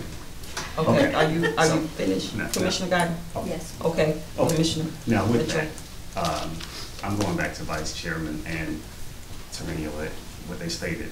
This was for the commissions, commissioners, uh, advocated for the commissioners. I don't know who decided to say we had to advocate for what that is. We didn't advocate for interns. It was a, a brought to our attention about interns. So we got interns for those who didn't want it, they just step aside and didn't use them. So that's on the, the Board of Commissioners, not on anyone else of this entity to decide on who gets what and why. So advocating for it or not, it should be put there for each one of these guys, each one of us. And if we so choose to use it, then we will. If we don't, then there's no need. I use sometimes all of the three hundred dollars, um, uh, the, the- the three hundred dollars that we got allocated for our expenses. Sometimes I don't use it, any of it. So it's, if this, something which I think I need for sure, but I didn't have to advocate because I heard from my vice chair, I heard from my colleague asking for this for the commission, not for him or her or anyone else. So hopefully that answers that question. The other part is, let's move to the SRO officers. And I think he was getting ready to try to explain to me this part of it. Um, Because, uh, as I stated, and I think Vice Chairman Robinson stated as well, I, I don't quite get why we negotiated something that we didn't agree upon, yet alone pay for something that traditionally, yes, it's been what we paid for, get it. Not that it was right or wrong, but now, we're at a budget now that I don't see us being able to afford this unless we increase the property taxes. Now, if you increase in the millage rate, then I think we can probably go ahead and pay for it, if that's what you choose. But can you go through this once again for me, so I can, then I'll, then I'll uh, ask my next question. Uh, the, the first portion is what we're currently doing, um, meaning that, you know, there's, right now, there's a total of twenty-two R- SROs. Uh, thirteen of those are being reimbursed by the Board of Education's, the, the salary and benefits at, um, this is based on next year's numbers, so just, uh, one point, almost one, just under uh, two million dollars. Uh, Then the county general fund is paying for the nine of the twenty-two at just under um, seven hundred thousand. So right now, So, so, so thirteen is not under the count, out of the county's budget, if I'm hearing you correctly. They are charged to the county, it's included in the sheriff's budget, however, we bill the Okay, Board of so- Education. Also, the Board of Education pays one point five or one point two, Two, yeah, million dollars. And we pick Less. up the other six ninety-seven. Correct. Got it. Correct. Okay, okay, because I, I, I asked my colleague, uh, Vice Chairman, to, to pull these numbers so I can kind of, you know, kind of gravitate as to what we've done in the past. Mhm. Because I even said to these guys and to everybody else, we probably shouldn't or cannot afford to continue even that makeup, Mhm. which is of twenty-two officers, uh, and spending, you know, over a half a million dollars just from that alone. Mhm. Okay, go right Okay. So uh, that's what's currently happening. So tho- those have been in the budget for, you know, for many years. And that's, Understood. that's how it's been um, divided out. Mhm. And then the additional request, uh, which is the seventeen uh, additional SROs for the elementary schools. Um, totals of those is um, around 1.1 uh, million dollars. Okay. That's just salary and benefits, and then of course you have the vehicles, the equipment, and uniforms, um, which would be the county uh, would lease nine of those 17, um, so that would be a cost of 90,000. So that's 1.2 million dollars. The verbal commitment from the Board of Education is that they would contribute 595,000. Of the 1.1. Of the 1.1, yes, mm-hmm. sir. Mm-hmm. Therefore, the net cost to the county's general fund is 600000 on the, on the new request for 2020. So the second or the third block is pretty much taken what we're currently doing plus what's being proposed in the additional request and mm-hmm. telling you what that breakdown is. So if if it is passed as what is being proposed with the additional 17 SROs, then there would be a total of 39 SROs just over three million dollars. Uh, The current, uh, the total funding from the Board of Education would be one point seven million, and the funding from the county would be one point three million. Um, And again, I just, as Chairman had stated on the third bullet point down, uh, that received a verbal commitment from Superintendent North that in addition to the five hundred ninety-five thousand, that the Board of Education would purchase eight of the seventeen vehicles, and of course, we would then lease the other nine, uh, totaling around three hundred and twenty thousand dollars out of their E-SPLOST. Got it. And, and, and and, and thank you for that. But I'm, I'm going back to say, guys, first of all, I go back to say, how and when did we negotiate a deal of this caliber without first completing with this board as to our take on this amount of of expense? Do you understand, this expense is what it is today, even with the with the contribution of uh, 1.1 from the school board.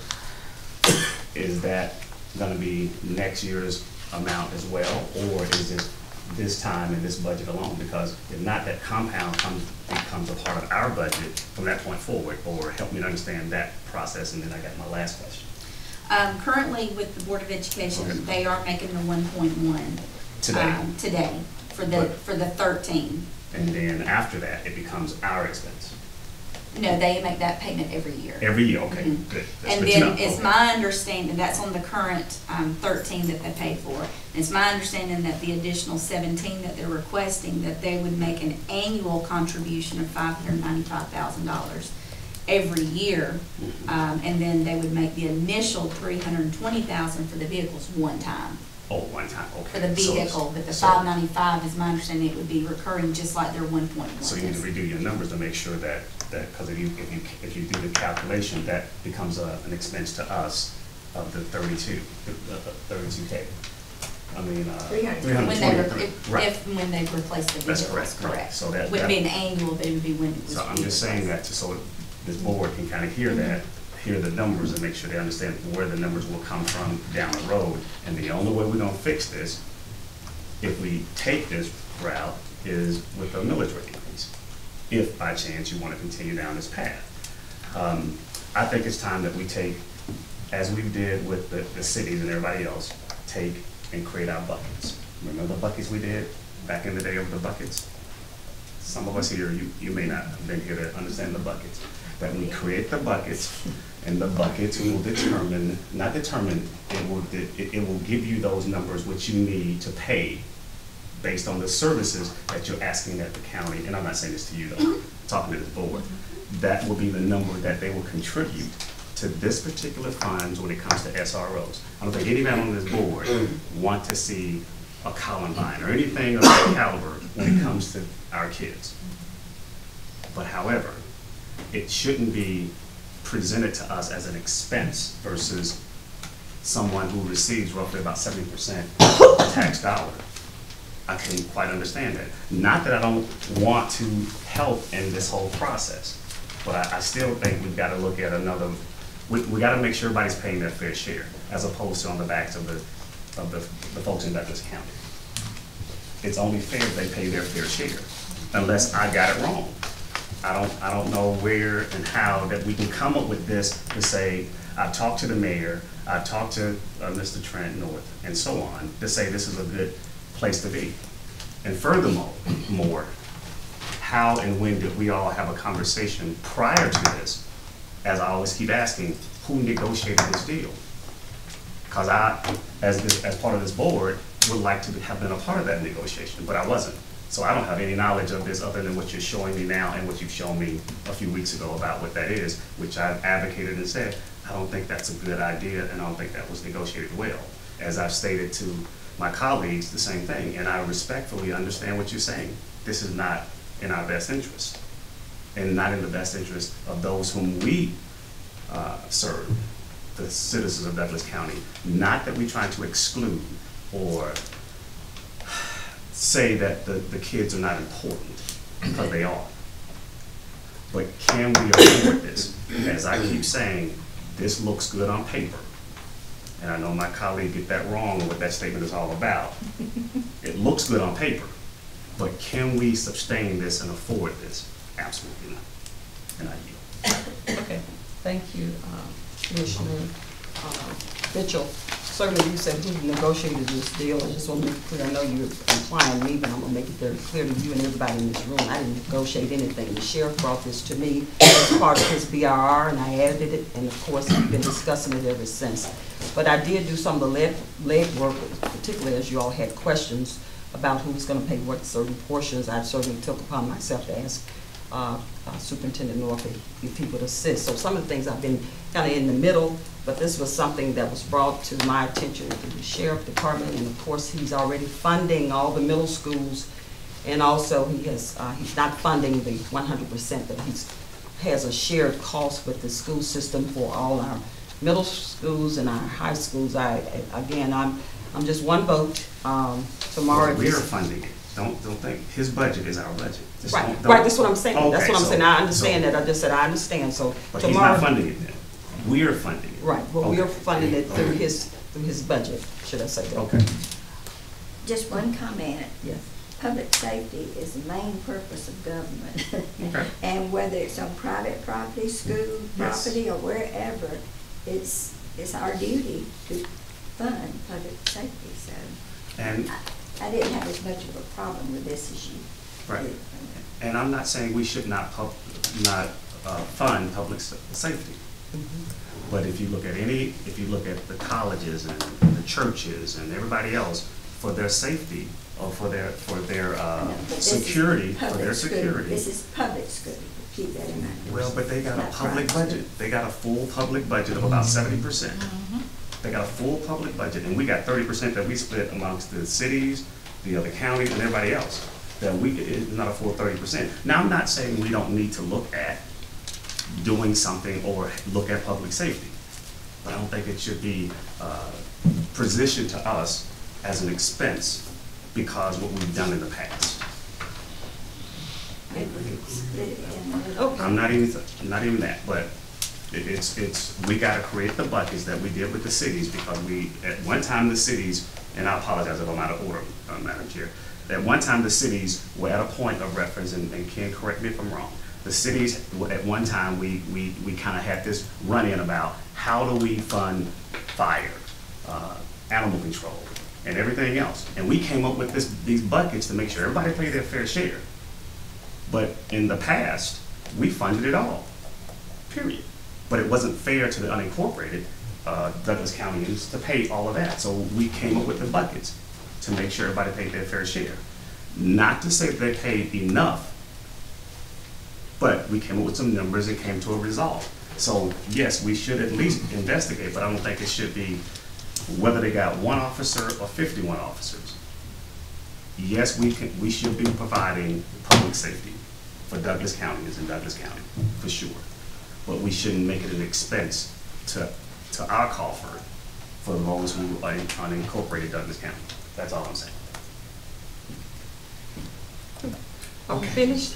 Okay, Commissioner, are you finished? Yes, I'm. Okay, I'm Commissioner done. Carthen. Mhm. One last thing, um, I brought this up in our budget retreat in regards to Sure us, uh, incurring this expense.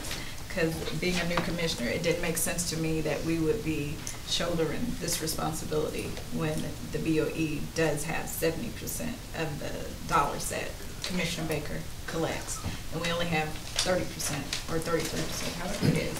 Um, And not all of that, by the way. and not, Okay, exactly, okay. not all of that, because we, you know, give to the cities and everything else. But at any rate, um, I definitely think that the BOE is more than capable to work this out with the sheriff's office to negotiate or contract or whatever they need to do mm-hmm. to make sure that the schools are covered. Because that is the main goal, which is to make sure that students are safe in the schools. Mm-hmm. Everybody has their budgets. We have our budget to disseminate amongst the department heads who are sitting here. And as we have witnessed today, there are some departments that are lacking their own resources in order to help make our county better, in order for us to be able to meet the budget demands that we do have within the county, just this BOC. Tax assessors being one of them, Board of Assessors being one of them. Um, so when we look at disseminating more budgets to other entities that do have more than their own, they have probably 10, 11 million dollars in surplus where we don't have any. Um, I did read one of my colleagues' emails that said we don't have a savings, and we need to be making sure that we do have a savings. And this helps us to do that. So we just have to incorporate all the things that we're thinking about. The other thing, I had a constituent walk in with me and stopped me and said, hey, I need you to look at the road near my house. We need a right of way, a turn lane, a, a roundabout. We need something there.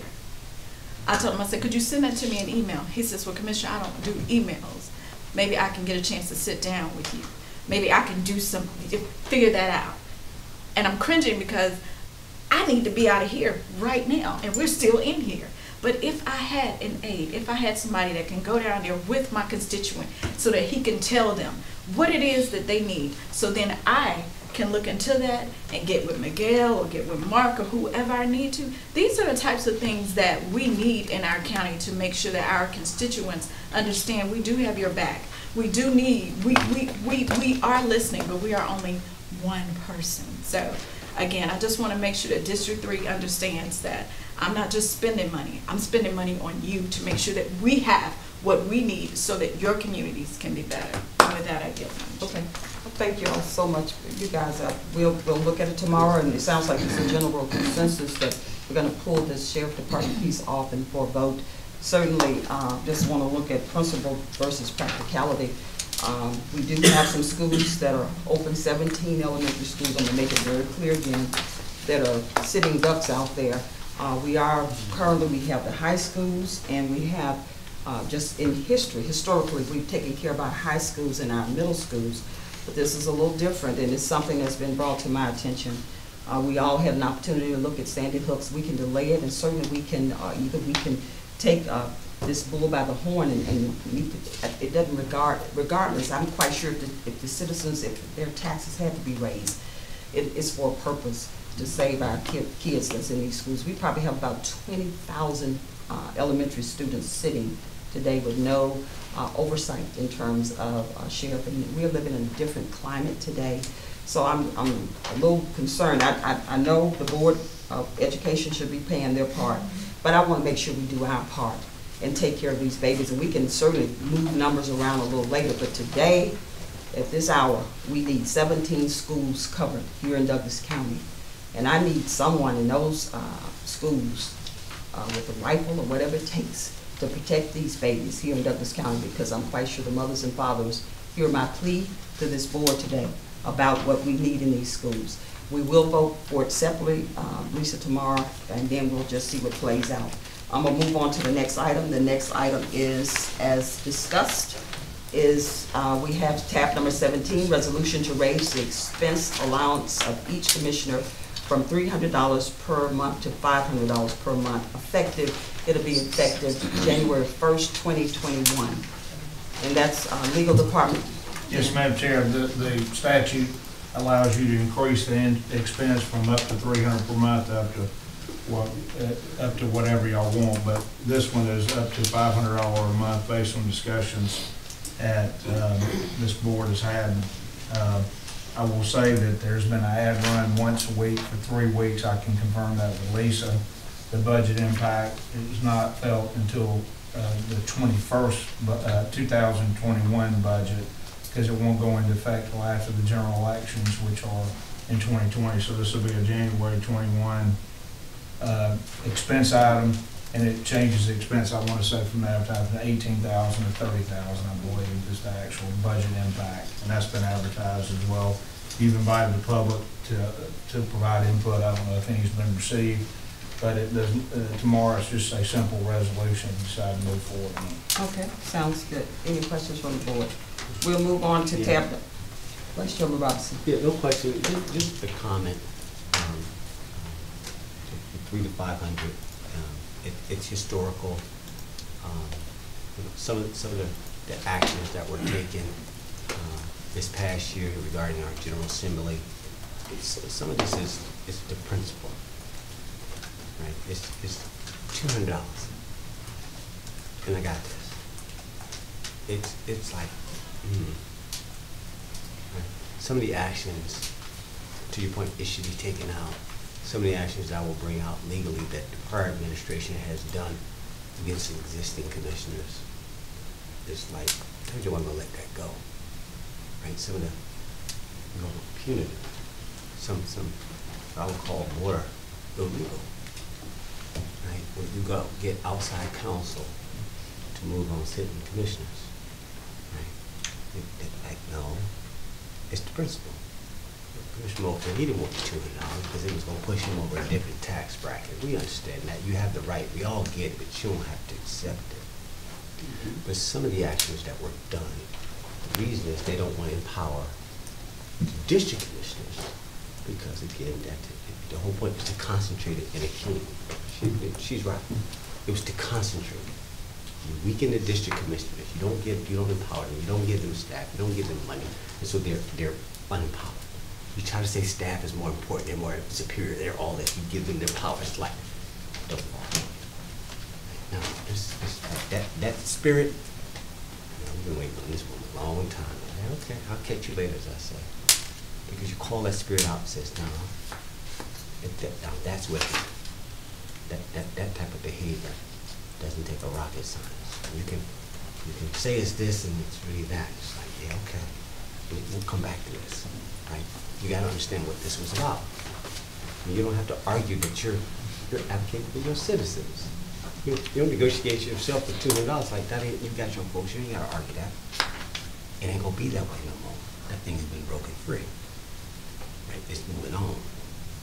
No, pay attention. Right, it, it, it's all that historical, just been like, but tho- those who are unaware, it's like, yeah, here we go, full circle. It's that type of behavior that you're trying to convince that, like, what, it's the, nah. You don't, you don't negotiate against yourself. Ted and Nab up, even Pelosi's like, yeah, that was old, that was bad. Yep, yep, yep, we need to do something better. We just need to make sure we enforce it. Right, it can go both ways. It's not one way. But, but you don't have to adhere to the old. Right, that's old, you know, new wine and old sackcloth. Just like, no, we, we're not putting that on. Moving forward. Right, so some of this conversation is like, oh, hey, come on, guys, it's two hundred dollars, but it's the principle. It ain't the amount. It's the principle. Okay. Okay, thank you. Thank you, we'll move on. Uh, So you all will be aware, Board of Commissioners, is we, we've been at three hundred dollars for probably about the last twenty-five years. And certainly, we've had things increase over the years, so I know the citizens definitely won't be upset because other counties have already moved to five hundred dollars uh, per month. I don't utilize my, my money at all, but that does not mean that I penalize my district commissioners because they don't use theirs. It's just extra money going back into the coffers of the counties. But they, this, this is much needed and I look forward to our vote tomorrow. Okay, let's go to tab number eighteen, annual renewal contracts. Authorization to renew agreement with Dr. Raymond L. Fowler, MD, FACEP, to serve as medical director of the Douglas County Fire and EMS Department and authorize the chairman to sign all related documents uh, with final legal review. So that is just for tomorrow, Board of Commissioners. Dr. Fowler is our medical director. Any questions before I move on? Tab number nineteen, authorization for the chairman to execute a twenty-twenty employment agreements for contract employees. That's gonna be on for tomorrow as well for the commissioners. Move on to tab number twenty. Do you have anything? All right, we, I got a laundry list that I'm giving you. Yeah, yeah, I'm gonna let you go, yes, ma'am. Okay, tab number twenty, authorization for the chairman to execute a twenty nineteen annual agreements with the Chamber of Commerce, Cultural Arts Center, Share House, Douglas County Shel- Shelter Incorporation, County Contract Attorney for Dependents Bishop Law Group, did I miss one? Oh, wait a minute, County Attorney, Board Assessors of Attorney, Employed Car Allowances, Juvenile Contract Attorney for Dependency Bishop Law Group, Juvenile Contract Attorney for Dependency Marcia O'Brien, Juvenile Contract Attorney for Dependency Johnson Law Firm, Juvenile Contract Attorney for Dependency Amber Walden, Juvenile Contract Attorney for Dependency Lisa Johnson, uh, Juvenile Contract Attorney for Dependency SR uh, Law Group, and then there was a couple of removed by the clerk, and then I'm just gonna keep going. Juvenile Contract Attorney for Dependency Tim McMillan, and then Stan Co. and Association, and then Justice Consultants LLC, and Tourism and History Commission, and Economic Development Authority, MOU. That's a mouthful. So Board of Commissioners, uh, Commissioners, these are, these annual contracts that are coming up uh, for review or signed, to be signed. I noticed you had your hand up, Commissioner Robinson. Yeah, You have anything? yeah, yeah, I, I did. I, I, again, I know which one I want to go after first, the contract employees or the vendors. So go with vendors first. Right, so with vendors, are all vendors one-year notification? Answer my, answer my question, somebody weigh in. All vendors that are listed here, if we choose to change our mind, is it one-year notice and is it consistent? Is it uniform? I'm gonna have to read through all forty-five of these to get to an answer. Somebody needs to be able to answer that question. We ask it every year, but I'm gonna ask it again. Is every one of these consistent? And if it's not, it better be tomorrow, or I'm gonna vote it down. Yeah, they're all annual, They're all- annual All contracts. right, okay. Annual contract, let me say this different. To give notice, do they have the same amount of notice? I'm very specific in what I'm asking. Don't, We'll don't. have to check them. All right, there, there you go. Don't, don't, don't. This moment is not one y'all want to play with right now. Just be honest, keep it simple. I'm asking for notice. Now, I'm to take this to the employees for the contract. Now, my employees are, for the most part, you guys, is it one year? You got one year? Are you guys on contracts one year? And do y'all all consistently get sixty-day notice, ninety-day notice? I just want to know if y'all consistent. I just want to, I like uniformity. So if one person gets this and that person gets that, I'm questioning, well, why can't they have, if it's all ninety days, it's all ninety days, if it's all six months, it's all six months. But I don't like that, well, this person is greater than that person, or this person, no, not with this, you're not. So, the question is, and it's okay if you don't know, Prime Minister, and I- I'm giving time to, to determine it. When I ask it again tomorrow, I want it consistent, and if you find an anomaly, you need to grab me and let me know, because then I'm going to suggest that it comes into compliance. I, I don't have the number, you know, I'm leaning my peers, y'all pick a number. But where I'm going with this is, um, in the event that there is a desire to revisit something, what's noticed? Like our annual auditor, our annual, the, the law firm, I mean, all those, all those contract attorneys y'all had on there, like, okay, if I wanna revisit Stanco, like, when did he become part of the list of the status quo? That, I'm like, I had to giggle to myself, I like, look how this money move. Look how they re-break people into the ongoing, it's like, okay, I- you know, that's- I know who that is, and I I don't have a problem, but I'm just, I'm, I'm making my point. Uh, How, how the status quo gets expanded. Uh-huh. Uh-huh, who gets included, uh-huh.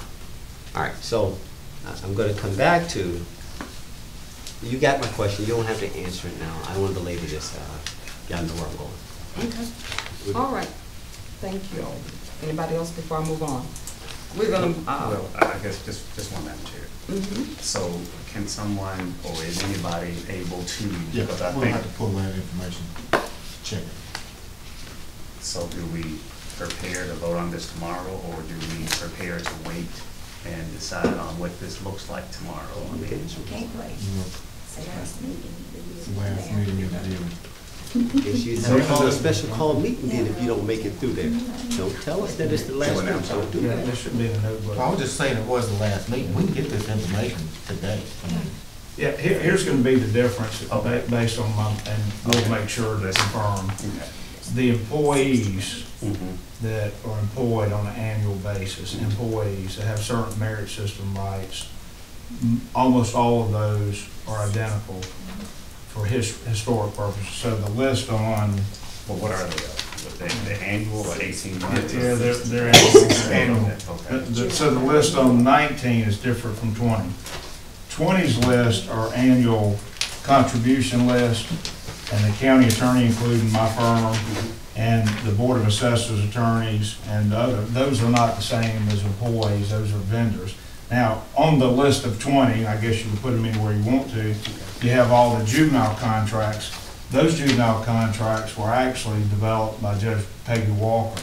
So those are different than all of the contracts, those are completely different. And what do you mean by different? I mean, I. Well, when I say that, she, she makes them, she's got certain reporting requirements. Mhm. She, they gotta attend so many, uh, of their hearings and blah, it's a long list that's adopted by the juvenile council, blah, blah, blah, blah, blah, and who they report to. Those were developed, those contracts look different than everybody else's.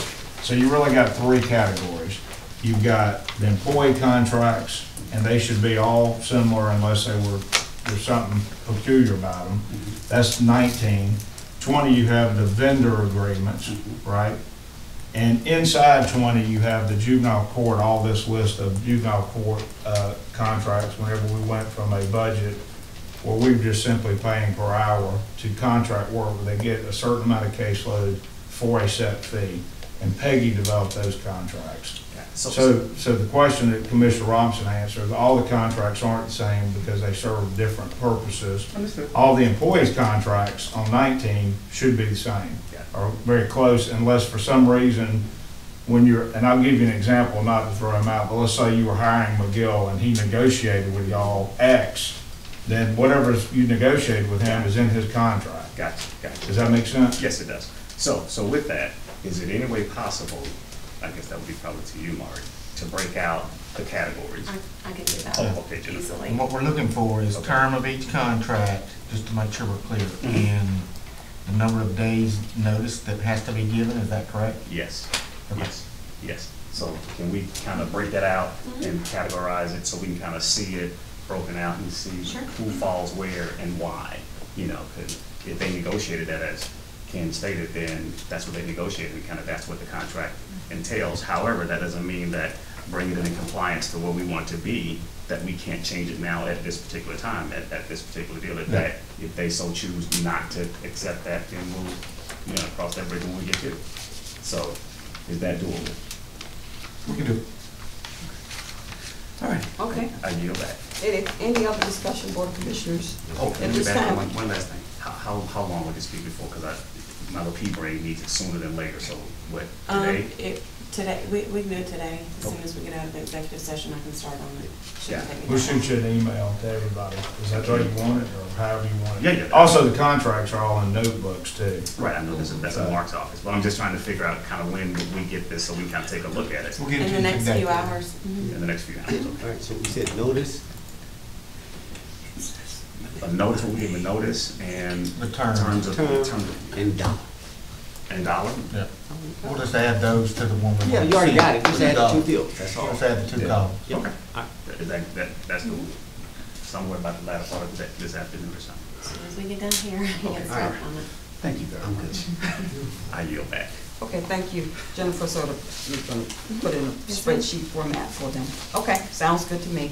Uh, uh, any other comment, Board Commissioners? Sounds like we all on the same page. Okay, uh, County Attorney, do we, uh, have, uh, need to go into executive session? You do, Madam Chair, for uh, personnel, real estate, and legal. Okay, Board of Commissioners, do we have a motion to go into executive session? Second. We have a motion and a second. Um, Any discussion? We have a motion and a second. All in favor, please indicate by raising your right hand. Commissioner Mitchell.